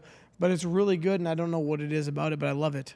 Yep. And it's just straight up on the rocks. Um, Matt and and, I put down a whole. We polished a whole one off during Christmas Eve a couple years ago, Yep. Um, and then we raced our RC cars through the uh, the winter weather. Nice. Um, and then I like trying stuff. You know, just as much as we like going to breweries, um, we go to distilleries too. So that same place that has that black cherry um, um, whiskey, um, they are a distillery that's ten minutes up the road from our place up north, or my parents' place up north, and. Uh, um, you know, they, they make a nice bourbon there, so it's nice to try the local stuff. I, I like Wyoming whiskey. That that is a brand that's from Wyoming. Okay. Um, it is a whiskey. It's nice, but you know, I, I can see myself. I, I branched out. You know, I, I don't drink like a Jack Daniels anymore. I, I Crown's a little too sugary for me. Uh, that was the next question I had. Um, I saw. That's where I started. Sure. Well, Crown had like a blackberry come out. Did you try that? It was really popular, and I I've think never it got. sold out. I've never got into like the uh, blackberry Crown, Crown Apple, Vanilla Crown. I've never really done that stuff. Well, the BlackBerry, I guess, just came out, and it was really popular, sold out everywhere. And I don't know if it's still available, but a couple of my buddies sent me photos and like, "Oh, this is fantastic!" So it must be similar to what you were talking Mm-hmm. about on the one. Um, What one was it? You said it's like a. You just Black me. cherry. Black cherry, from where? Um, Northern Waters Distillery is the Okay. place called up north. Um, really nice. Um, I'll have to bring a bottle for you sometime. Have you been to the La Crosse Distillery at all? No. Uh, Right downtown. yeah, yeah, yeah. Um, once, maybe twice. Okay, and I've been there maybe a Not handful enough of to times. remember it. Okay, so I've been there a handful of times. They have a rye whiskey bourbon. It's called Toodaloo, I think it is. Mm-hmm. I love it. On the rocks, it's good. Mixed with something, it's fantastic as well. They have some pretty decent food there, but the ambiance is pretty neat too. And I, I mean, I was telling my buddy this today earlier. I'm like, you can give me a cheeseburger from McDonald's and expensive beer, and I'm good. You ever, you ever been to Le Cave in the Cross? The what? Le Cave. No. Yeah. What's Uh, that? And where? It is um, La Chateau is the restaurant. Okay. It is if you, if you're just getting off of the bridge downtown La Crosse there. Yep. It's like you get off the bridge, you take a left, you take a right, and there's an old I want to say like a mansion or like a manor, and that's La Chateau. Okay. Their downstairs is a bar and it's called Le Cave. They have probably some of the best old fashions I've ever had there, among got- other drinks. I gotta take Steph there. yes, you do. Is it like a speakeasy? kind of. Do you have to have a passcode? No, but it, but it, it it. is down a spiral staircase. That's pretty cool though. Still. um, and the it's it's on the it's it's in the downstairs of of the manor and what you can you can make sure you tour the whole place because it's just it's beautiful it's, it's an old you know house for somebody at some point That's but it is a restaurant and downstairs it's on the original sandstone foundation so that is that is the walls down there Oh, cool. it is it is it is a great ambiance place. It's a little bit of, it's got a little wine cellar feel too, but um, they have phenomenal drinks there, I'm gonna have to go and check they that out. make a, a great smoked old fashioned. Yes, I had a smoked old fashioned at the place called Smoke in Rochester. The Mm-hmm. the then that was came in like this little um it looked like a lantern case and it was all smoky and I had it and it was fantastic. So then after my wife she said she knew I liked that. For let's see, it was my birthday last year. Maybe she bought me this little box kit, and what it had was a little thing in there where you put shavings of uh, some wood, Yep. and each one were flavored, and then it came with a torch. Yep, little put it over chips. Yeah, and then it went over top of my cup, torched it, and it went and went into my cup, and it made it smoked, and it was and it's awesome. We use it all the time. Yep. I Yep. love that thing. So That's if you a like a smoked old fashioned, that is the place to go. Le Cave at La Charmant, uh, at the Charm, uh, no, not the Charmant, La Chateau. La Chateau, and what was it called? Le Cave. Le Cave. I have got to go down there when the weather gets bad. We got to go there because Yep. it'll be something to do on a Well, Friday. it- let, let us know. I mean, like, you know, we'd be happy to meet you down there. Sure, a bunch of us would, but um, I bet you would. I yeah. bet a lot of people Um, would love to go. Daniel, the bartender there, really nice guy. I, I yeah, I, I gotta check that out. yeah, I always get acquainted with the bartenders and whatnot, just because um, I just like to ask them how they make their drinks and you know whatnot. I like to Sure. learn but for for my own, you know, okay, well, why why did you do that or what'd you use in there? Yeah. kind of thing. Every little thing makes a drink different. Mm-hmm. That's awesome. Yeah, I Like I said, my, my most recent change is is switching to actually taking brown sugar. Um, and melting it down with the water or diluting it to, Really? to, to do my old fashions. ooh, that brown sugar. I love It's brown sugar. it just ever so slightly a different flavor um, for the old fashioned. So it, it's just it just adds a little something different. That's awesome.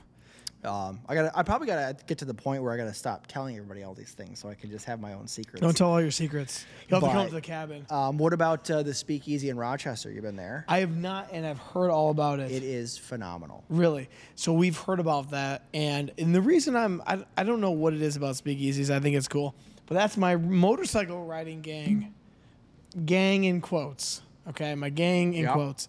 It's. Anyways, what we do is we just uh, we have we're a speakeasy riding group or whatever. We put patches on our vest of any breweries we've been to or distilleries. And this place is an actual speakeasy. Right. And Yes. so that intrigues me even more because I have my motorcycle vest. They have all the patches on it from any place that has patches. Mm-hmm. And then I hear about a speakeasy in Rochester.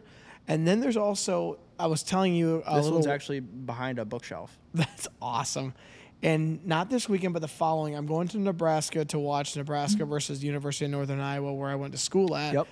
And I guess there's a speakeasy place What, like there. the Cornhuskers? the Cornhuskers versus the University of Northern Iowa Panthers. Yep. Who's gonna win? Probably the Cornhuskers, but I will keep my faith in my You alma never know. mater. You never know. You never know. But my buddy Brett told me that there's a speakeasy there that we have to go to. I'm like, perfect. But I've heard about the one in Rochester, and now I am even more intrigued because you just said it's a place you got to hit up. Yes. And do you have to Um, have like a passcode to get in, or you just walk in? Uh, no, there is um, kind of a hint. A hint. Yeah, and if uh, you can't figure it out, eventually they open it up for you. Let me in. I got money. All right, you're but in. it, it is um, it's a neat experience. You walk in there, it is it's it's so unassuming. I, I don't want to tell you too much because I want you to experience it. yeah, no, not a problem. Um, just tell us where it's at. Downtown, Uh, yeah, yeah, downtown yeah, right- Rochester. right- yeah, right downtown. Um, Perfect. Do you know what it's called? I don't know what it's called, but I've heard all about it, and I've actually eaten downtown at was it Five West or something like that. I think it's similarly right Five across- West. Um, like right across the street almost. No, no, no. Five, Five West is over by like Costco. Well, there's another one downtown. I thought there was Um, two locations. Chester's. No, there's Or another. no, there's another Five West. I think there's a? Five West downtown as well, or at least, or at least it's related to it. But in any case, there's one that's like in like the second floor of like a hotel. I think it is. But anyway, I was there like two years ago. Ah, bitter and poor. Bitter and poor. Bitter and poor. Okay, for those who like speakeasies or like the Bitter and Poor in Rochester is, you know, I, I talk about how good a lot of these places are, but theirs is the best. It is 100% the best, in my opinion, how they make the old fashioned. I mean, you know, the ice cube they give it to you on is stamped with B and P on it for bitter and Sick, poor. dude. That's like awesome. it's it's it they they they absolutely nail it there. yeah. Um, I have one of those um, rubber um, ice cube trays that Yeah. makes them like the big cubes. big cubes. Yeah, Yeah. and I love it. It's Yep. awesome. And then by the time I'm done with my drink, it's almost diluted, but my drink phenomenal. Yep. Because I drink all my bourbons usually on the rocks. Yep. Yep. So that that that is a place I would definitely recommend. Uh, and what's it called again? Bitter and Poor. Bitter and poor. I, Yep. you know, I go to Rochester so often. I need to go there. You're good. Uh, so and yeah, I'm I'm there fairly regularly too. So you just let me know. I'm there fair, fairly regular. I love it. Yeah. It's awesome. Yeah. Okay, I gotta, I gotta, I got to say something to you because I've been thinking about this the whole last week since we talked about doing this podcast. You're a finance guy. Mm-hmm. Do you ever listen to Dave Ramsey? No. Nope. Okay. There's a guy on there. His name is George Kamel, and Mm-hmm. you look just like him. I look just like him. Well, very similar. Who is this? He's a guy that he gives out financial advice, Sure. and his name is George Kamel. I think it's with a K, K A M E L. I think you look like him. His beard's a little bit more prominent, but he's got like the more unique glasses. Yeah, yeah, yeah. You got the hair, got the hair going on. Yes, here. well, you don't have your you have your hat on today, so it doesn't Yep, really help yep. out. No, I, I I can see it though. Yeah, and I'm like, Aaron reminds me of him because you have like the more unique glasses. Like today, you're Yep. wearing clear le- or clear frames, and he always wears like maybe like a tannish brown frame. Yeah, yeah, and and like just just a little more trendy, I guess you would say, kind More of a trendy, frame. yeah. Uh, and I've worn glass. I've had glasses since I was three years old, so it's it's nothing new to me. No, no. I think you look like him. And I'm like, maybe, maybe you got a style from him. I don't even know. I'm like, I guess not because you don't listen to it, so it doesn't matter. No, and I and I don't listen to a lot of finance stuff. I mean, you know, I- I'll I'll look and see like what the markets are doing and Yeah. whatnot. But in reality, I mean, everything I do is just based around the individual and planning and whatnot. Investments kind of handle themselves. Sure, sure. But Yeah. yeah, So I mean, that's you know, yeah. that, That's was, that, was, that was a lot of words and a whole lot of nothing right there. That's all right. I just want to let you know you look like someone out there that. Yep. Well, I listen to it. I mean, it's in my background. I'm not always listening to every single word, but I do sometimes. So my buddy I does don't. this. I don't like. So go ahead. Sorry. My buddy does this. He he watches a podcast to see what the person looks like if he doesn't know who they are, and then he listens to it while he does like yard work or whatever he might be doing. Same thing. So like I listen to Dave Ramsey here and there, and I wanted to see what these people look like when I hear them in my headphones. And I saw this guy. I'm like, well, that looks like Aaron. It looks a lot like Interesting. Aaron, just with a little bit more of a beard and obviously different color so there's there's certain instances where it's like I'm really intrigued and wonder what somebody looks like, and certain times where I'm not. So I am more a YouTube person than I am a podcast person. okay. Uh, my wife and I will listen to podcasts. She does it much more so than I do, but we like Morbid. What's that? And who Morbid it? is, um, is a it's a it's a couple of girls. One of them, I believe. Uh, one of them is is not nothing. I wouldn't say medical, but um, some sort of criminology. okay. So they they discuss um, like murders, it. disappearances, some sort of hauntings, but anything where like any some sort of a like traumatic criminal event went on, Yep. and they would discuss those stories. Sure. So um, I feel like a lot of girls are into that. yeah, The murder mysteries. and, and and morbid is huge on the podcast spectrum. I think they have like 600 episodes. wow, I'm at 37. I'm working my way. We'll we'll get there. We'll get there. I mean, when, when did you start this?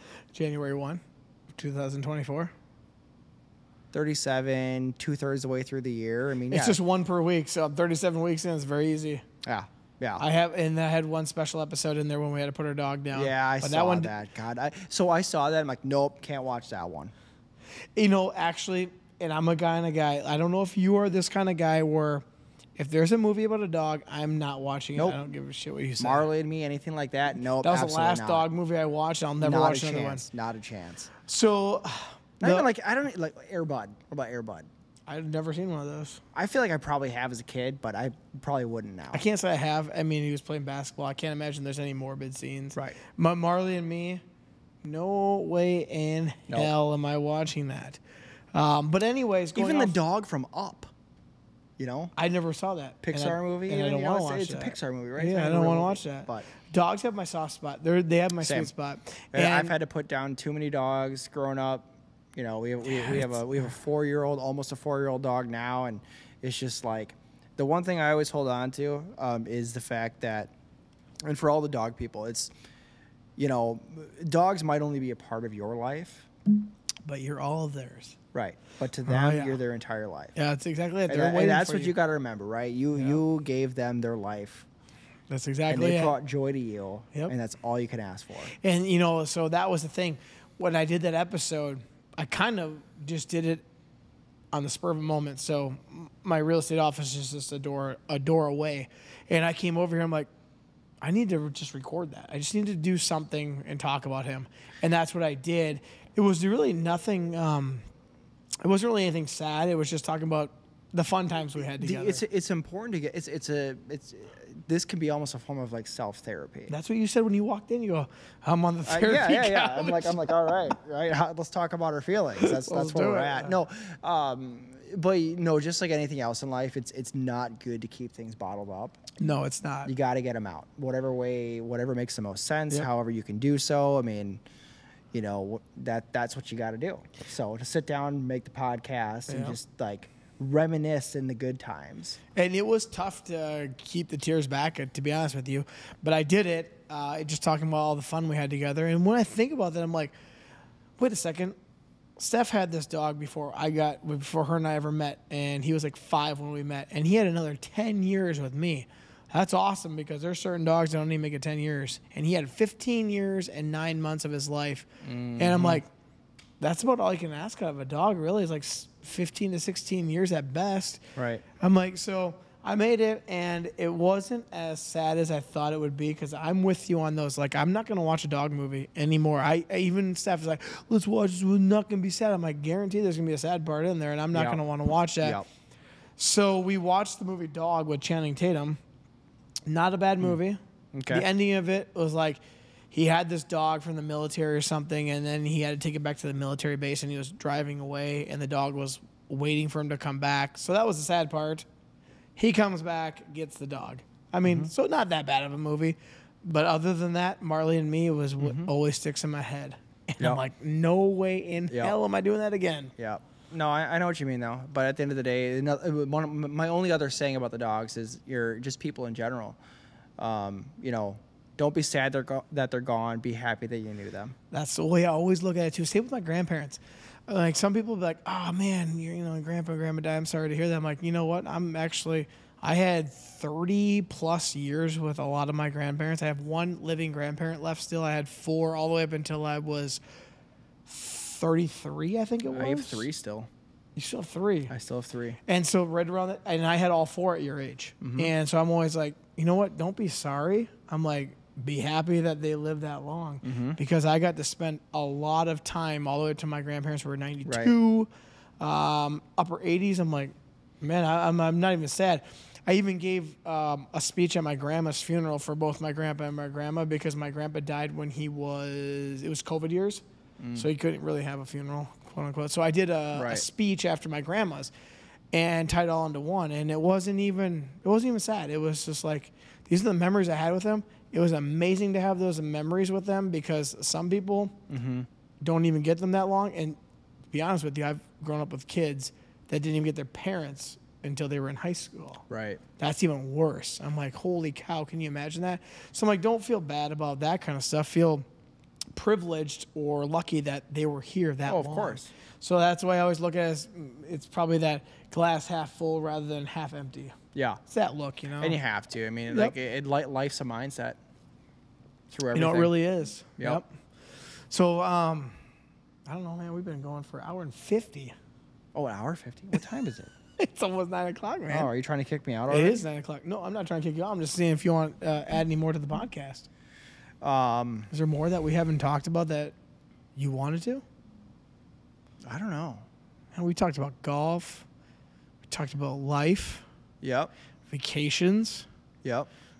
Just experiences in general. Kind of talked about motorcycles for a moment. Hey, that kind of wraps that, that that was all wrapped into travel. That really degree. was wrapped into travel. Yeah. So I guess my I guess my thing will be uh, golf, travel. What's my third topic that we talked about? Oh, that's right. I did Your notice look- that you do your it. look-alike. Your look. my look-alike. um, just for those who are like trying to like, okay, who is he? Who is he talking about? Like, um, You wore your hat though tonight, so it doesn't help me out. yeah, no, I mean, It's all good though. I don't have to think about it. A lot of golf. Yeah, a lot of travel. travel. Um, it's it's gotta it's gotta be you know uh, Family. I was gonna say bourbon or uh, Ooh, yeah. um, just Old uh, fashioned specific. Not even that. Just just how different ways do it. Different what? how, how, how different places make Oh, theirs, sure. right? So, so so just because you might have a particular way you like it, it's important to branch out and like try the new um, whiskey bar or you know try and go to a different location because there might be something better or Right. something you didn't think of. Never hurts to try anything. I mean, you're already going to spend your money. So Right. even if you spend 10 The- bucks the at a place, is, like though, whatever. And um, the shirt I almost wore today was given to me by- by my friend Peter, um, who I met not too long ago. But What's his just last name? what What's his last name? Bell, Peter Bell. Peter Bell. Peter Bell, the pilot. Peter Bell, the pilot. Peter Bell, the pilot. Um, he got me a shirt because we, we became fast friends, and uh, it's just a sweatshirt, but it just says, "I'll just have the chicken tenders," because I am absolutely probably one of the pickiest people you'll ever meet For food? for food. Okay. For food, Everyone tells me the same damn thing.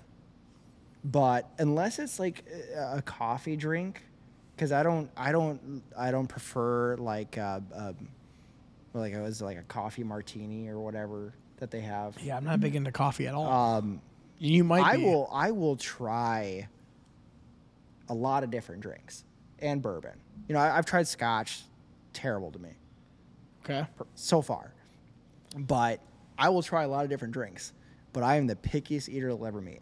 Really? Yes, Okay. it, it becomes it becomes a, a game basically for anybody new that I meet or any, any friends of mine. Every time we go out to dinner, Yep. you know, um, we'll go out to the Freight House in La Crosse. Oh, try the crab legs. No, Okay. I will pay you to try the no.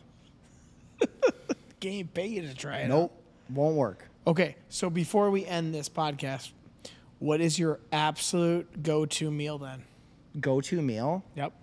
And I, you want me to go first Sure. so you can think? My absolute favorite meal, hibachi. If you take me to, well, my wife makes very fantastic stuff on our Blackstone. You take me to Benihana's, uh, you'll have to cut me out of the restaurant then because I'll eat myself till I'm sick. That's how good I love hibachi. So you give me chicken, chicken teriyaki with fried rice, and you know all the things that come with whatever Benihana serves. Uh, you know, I don't even need to do the choo choo train. I don't even need that. Yeah. You just give me the teriyaki chicken and rice and everything else that comes with hibachi. That is my absolute favorite meal, and I could eat that probably every single day. Um, so that's my go-to meal if if someone says what what are you having, teriyaki chicken hibachi, or just hibachi in general. You could probably and put shrimp in there. Throw shrimp in there; it's even better for me. I'm not the biggest beef eater when it comes to hibachi, but chicken, oh yeah. So that's my go-to meal. And people always call me picky because I like things very plain. Give me a salad. All it has to be is lettuce, Put some uh, cucumbers in it, maybe a little bit of tomatoes, shredded cheese, and cuc- uh, and croutons. That's all I need. I don't need any dressing. Um, you give me pop tarts, make them burnt. I'm good. Give me a pizza. I'll eat a cheese pizza just as well as I eat any other pizza. So I'm very, very basic, and people call, call me picky because. I'm like, no, no, no, no. I'm making it very easy on you because I'm very basic. Yep. So well, okay, so here, we'll, we'll, we'll, we'll end it with this. You, you talked about your favorite things. I'll list, before we end this, everything that I ate. I ate peanut butter sandwiches, chicken, pasta, plain, rice, Wait, did you say pasta plain? yes, Nothing butter, on- butter noodles. Oh, that's fine too. Butter noodles. Yep. Okay. Um, I said peanut butter sandwiches, right? You did say that first. Peanut butter sandwiches, pepperoni pizza, chicken, pasta, rice, and bison fillet and garlic, ma- garlic mashed potatoes. Dude, that, Thanks for having me on here, sir. Uh, yeah, you're welcome. We're not done yet. Okay, so what do I you still have? give my for me? outro. What? I give my outro. Yeah, Yeah. Okay. but yeah. So and that that is my one fancy meal: bison fillet with garlic mashed potatoes. Bison fillet. What? I lean, love lean meat, less Yes. fat, lean meat. And I like venison. So Yep. someone, if someone makes venison jerky, I'm all about it. So that so if we are going out to a fancy dinner, as long as it's like a steak place, I, I like a fillet. Okay. And, and, you know, sometimes I, I'm so it's weird. I'm like very plain, but then I'll be very exotic on certain Mm-hmm. things. Like, give me mahi mahi. I'm cool with that. Give me um, No fish. swordfish. You don't like is that seafood? Nope. Nope. Okay. Give me shrimp. Give me mussels. All that kind of stuff. I'll eat that. So some people are like, well, you're very picky. I'm like, well, would you eat that? And they go, no. I'm like, well, then you're picky too. Like I said, that's that's when it becomes a game with my friends. Be like, will you eat this? Will you eat that? nope. You never know Nope. what I might eat. Nope. That's the one thing. Yep. Dude, it was awesome having you on this podcast. I You're just saying that because you have to. no, because we're at two hours and we haven't stopped talking. Okay. we're almost at two hours and we haven't stopped talking. That means you gotta come back for part two, oh, for sure. I will absolutely be back. whatever that'll be. I think that's gonna be you making me old fashions. Yes, it will. We're gonna we're gonna do. We're gonna get some aprons. You know what it could be? It could be you, me, and Thrune all together here because I can do duels. We might be here for like four hours. then that could be a problem. I don't give a shit. I don't care. It, it's whatever because I can do dual interviews now. That's the best part. I have a buddy that. What do you mean? Like I can have him on that side. Oh, I have a third mic. Oh, you do. Okay. Yep. And but it does take a whole different software. So I have a buddy that's very big into that, and he's like, anytime you need to do Mm-hmm. two interviews or you know more people, contact me. I'll come and I'll help you. And he's been here multiple times, and he's always willing to help. So when when will this episode come out? Monday. Monday. Yep. Okay. So um, week one predictions. Oh shoot. Good. That's a great segment. Week one predictions. Well, I don't even know who plays. who the Vikings play? well, yeah. We'll just uh, so um, yeah. I'll look it up. So Packers play Eagles, and they're both Um, presumably in Brazil now. I, I would assume they are. I'm still gonna go with Packers on that one I'm gonna because say I think the Packers just keep getting better. I'm gonna say it's a low scoring game. Yeah, they're all gonna be tired. They're gonna Yeah. be like just jet lagged out of their minds. Um, I, I assume they're already there, right? But they keep claiming they can't leave the hotel. You know, there, there's other things on their mind. Um, who knows what the grass conditions are going to be? Um, Well, at least it's gonna be the same for both. I'm going to say Still with Packers though. 23-20 Packers. Okay. I mean, the Eagles are a fantastic team, but I still think the Packers just keep getting better. And it's week one. It's week one, so everything's kind of up in the air at the moment. Yep. Who yep. the Vikings play? Tell Uh, me that one. Vikings at Giants, noon Sunday. Oh God! And the Giants. I'm gonna go with my Vikings on that one. Still, uh, to me, that's like a 50-50. Even Packers Eagles, I think they're both two good teams. I think the Giants and Vikings are like two. Darnold at QB. I, yeah, I know. I'm well What's aware. the score? 13 to 10 Oh, Vikings. All right.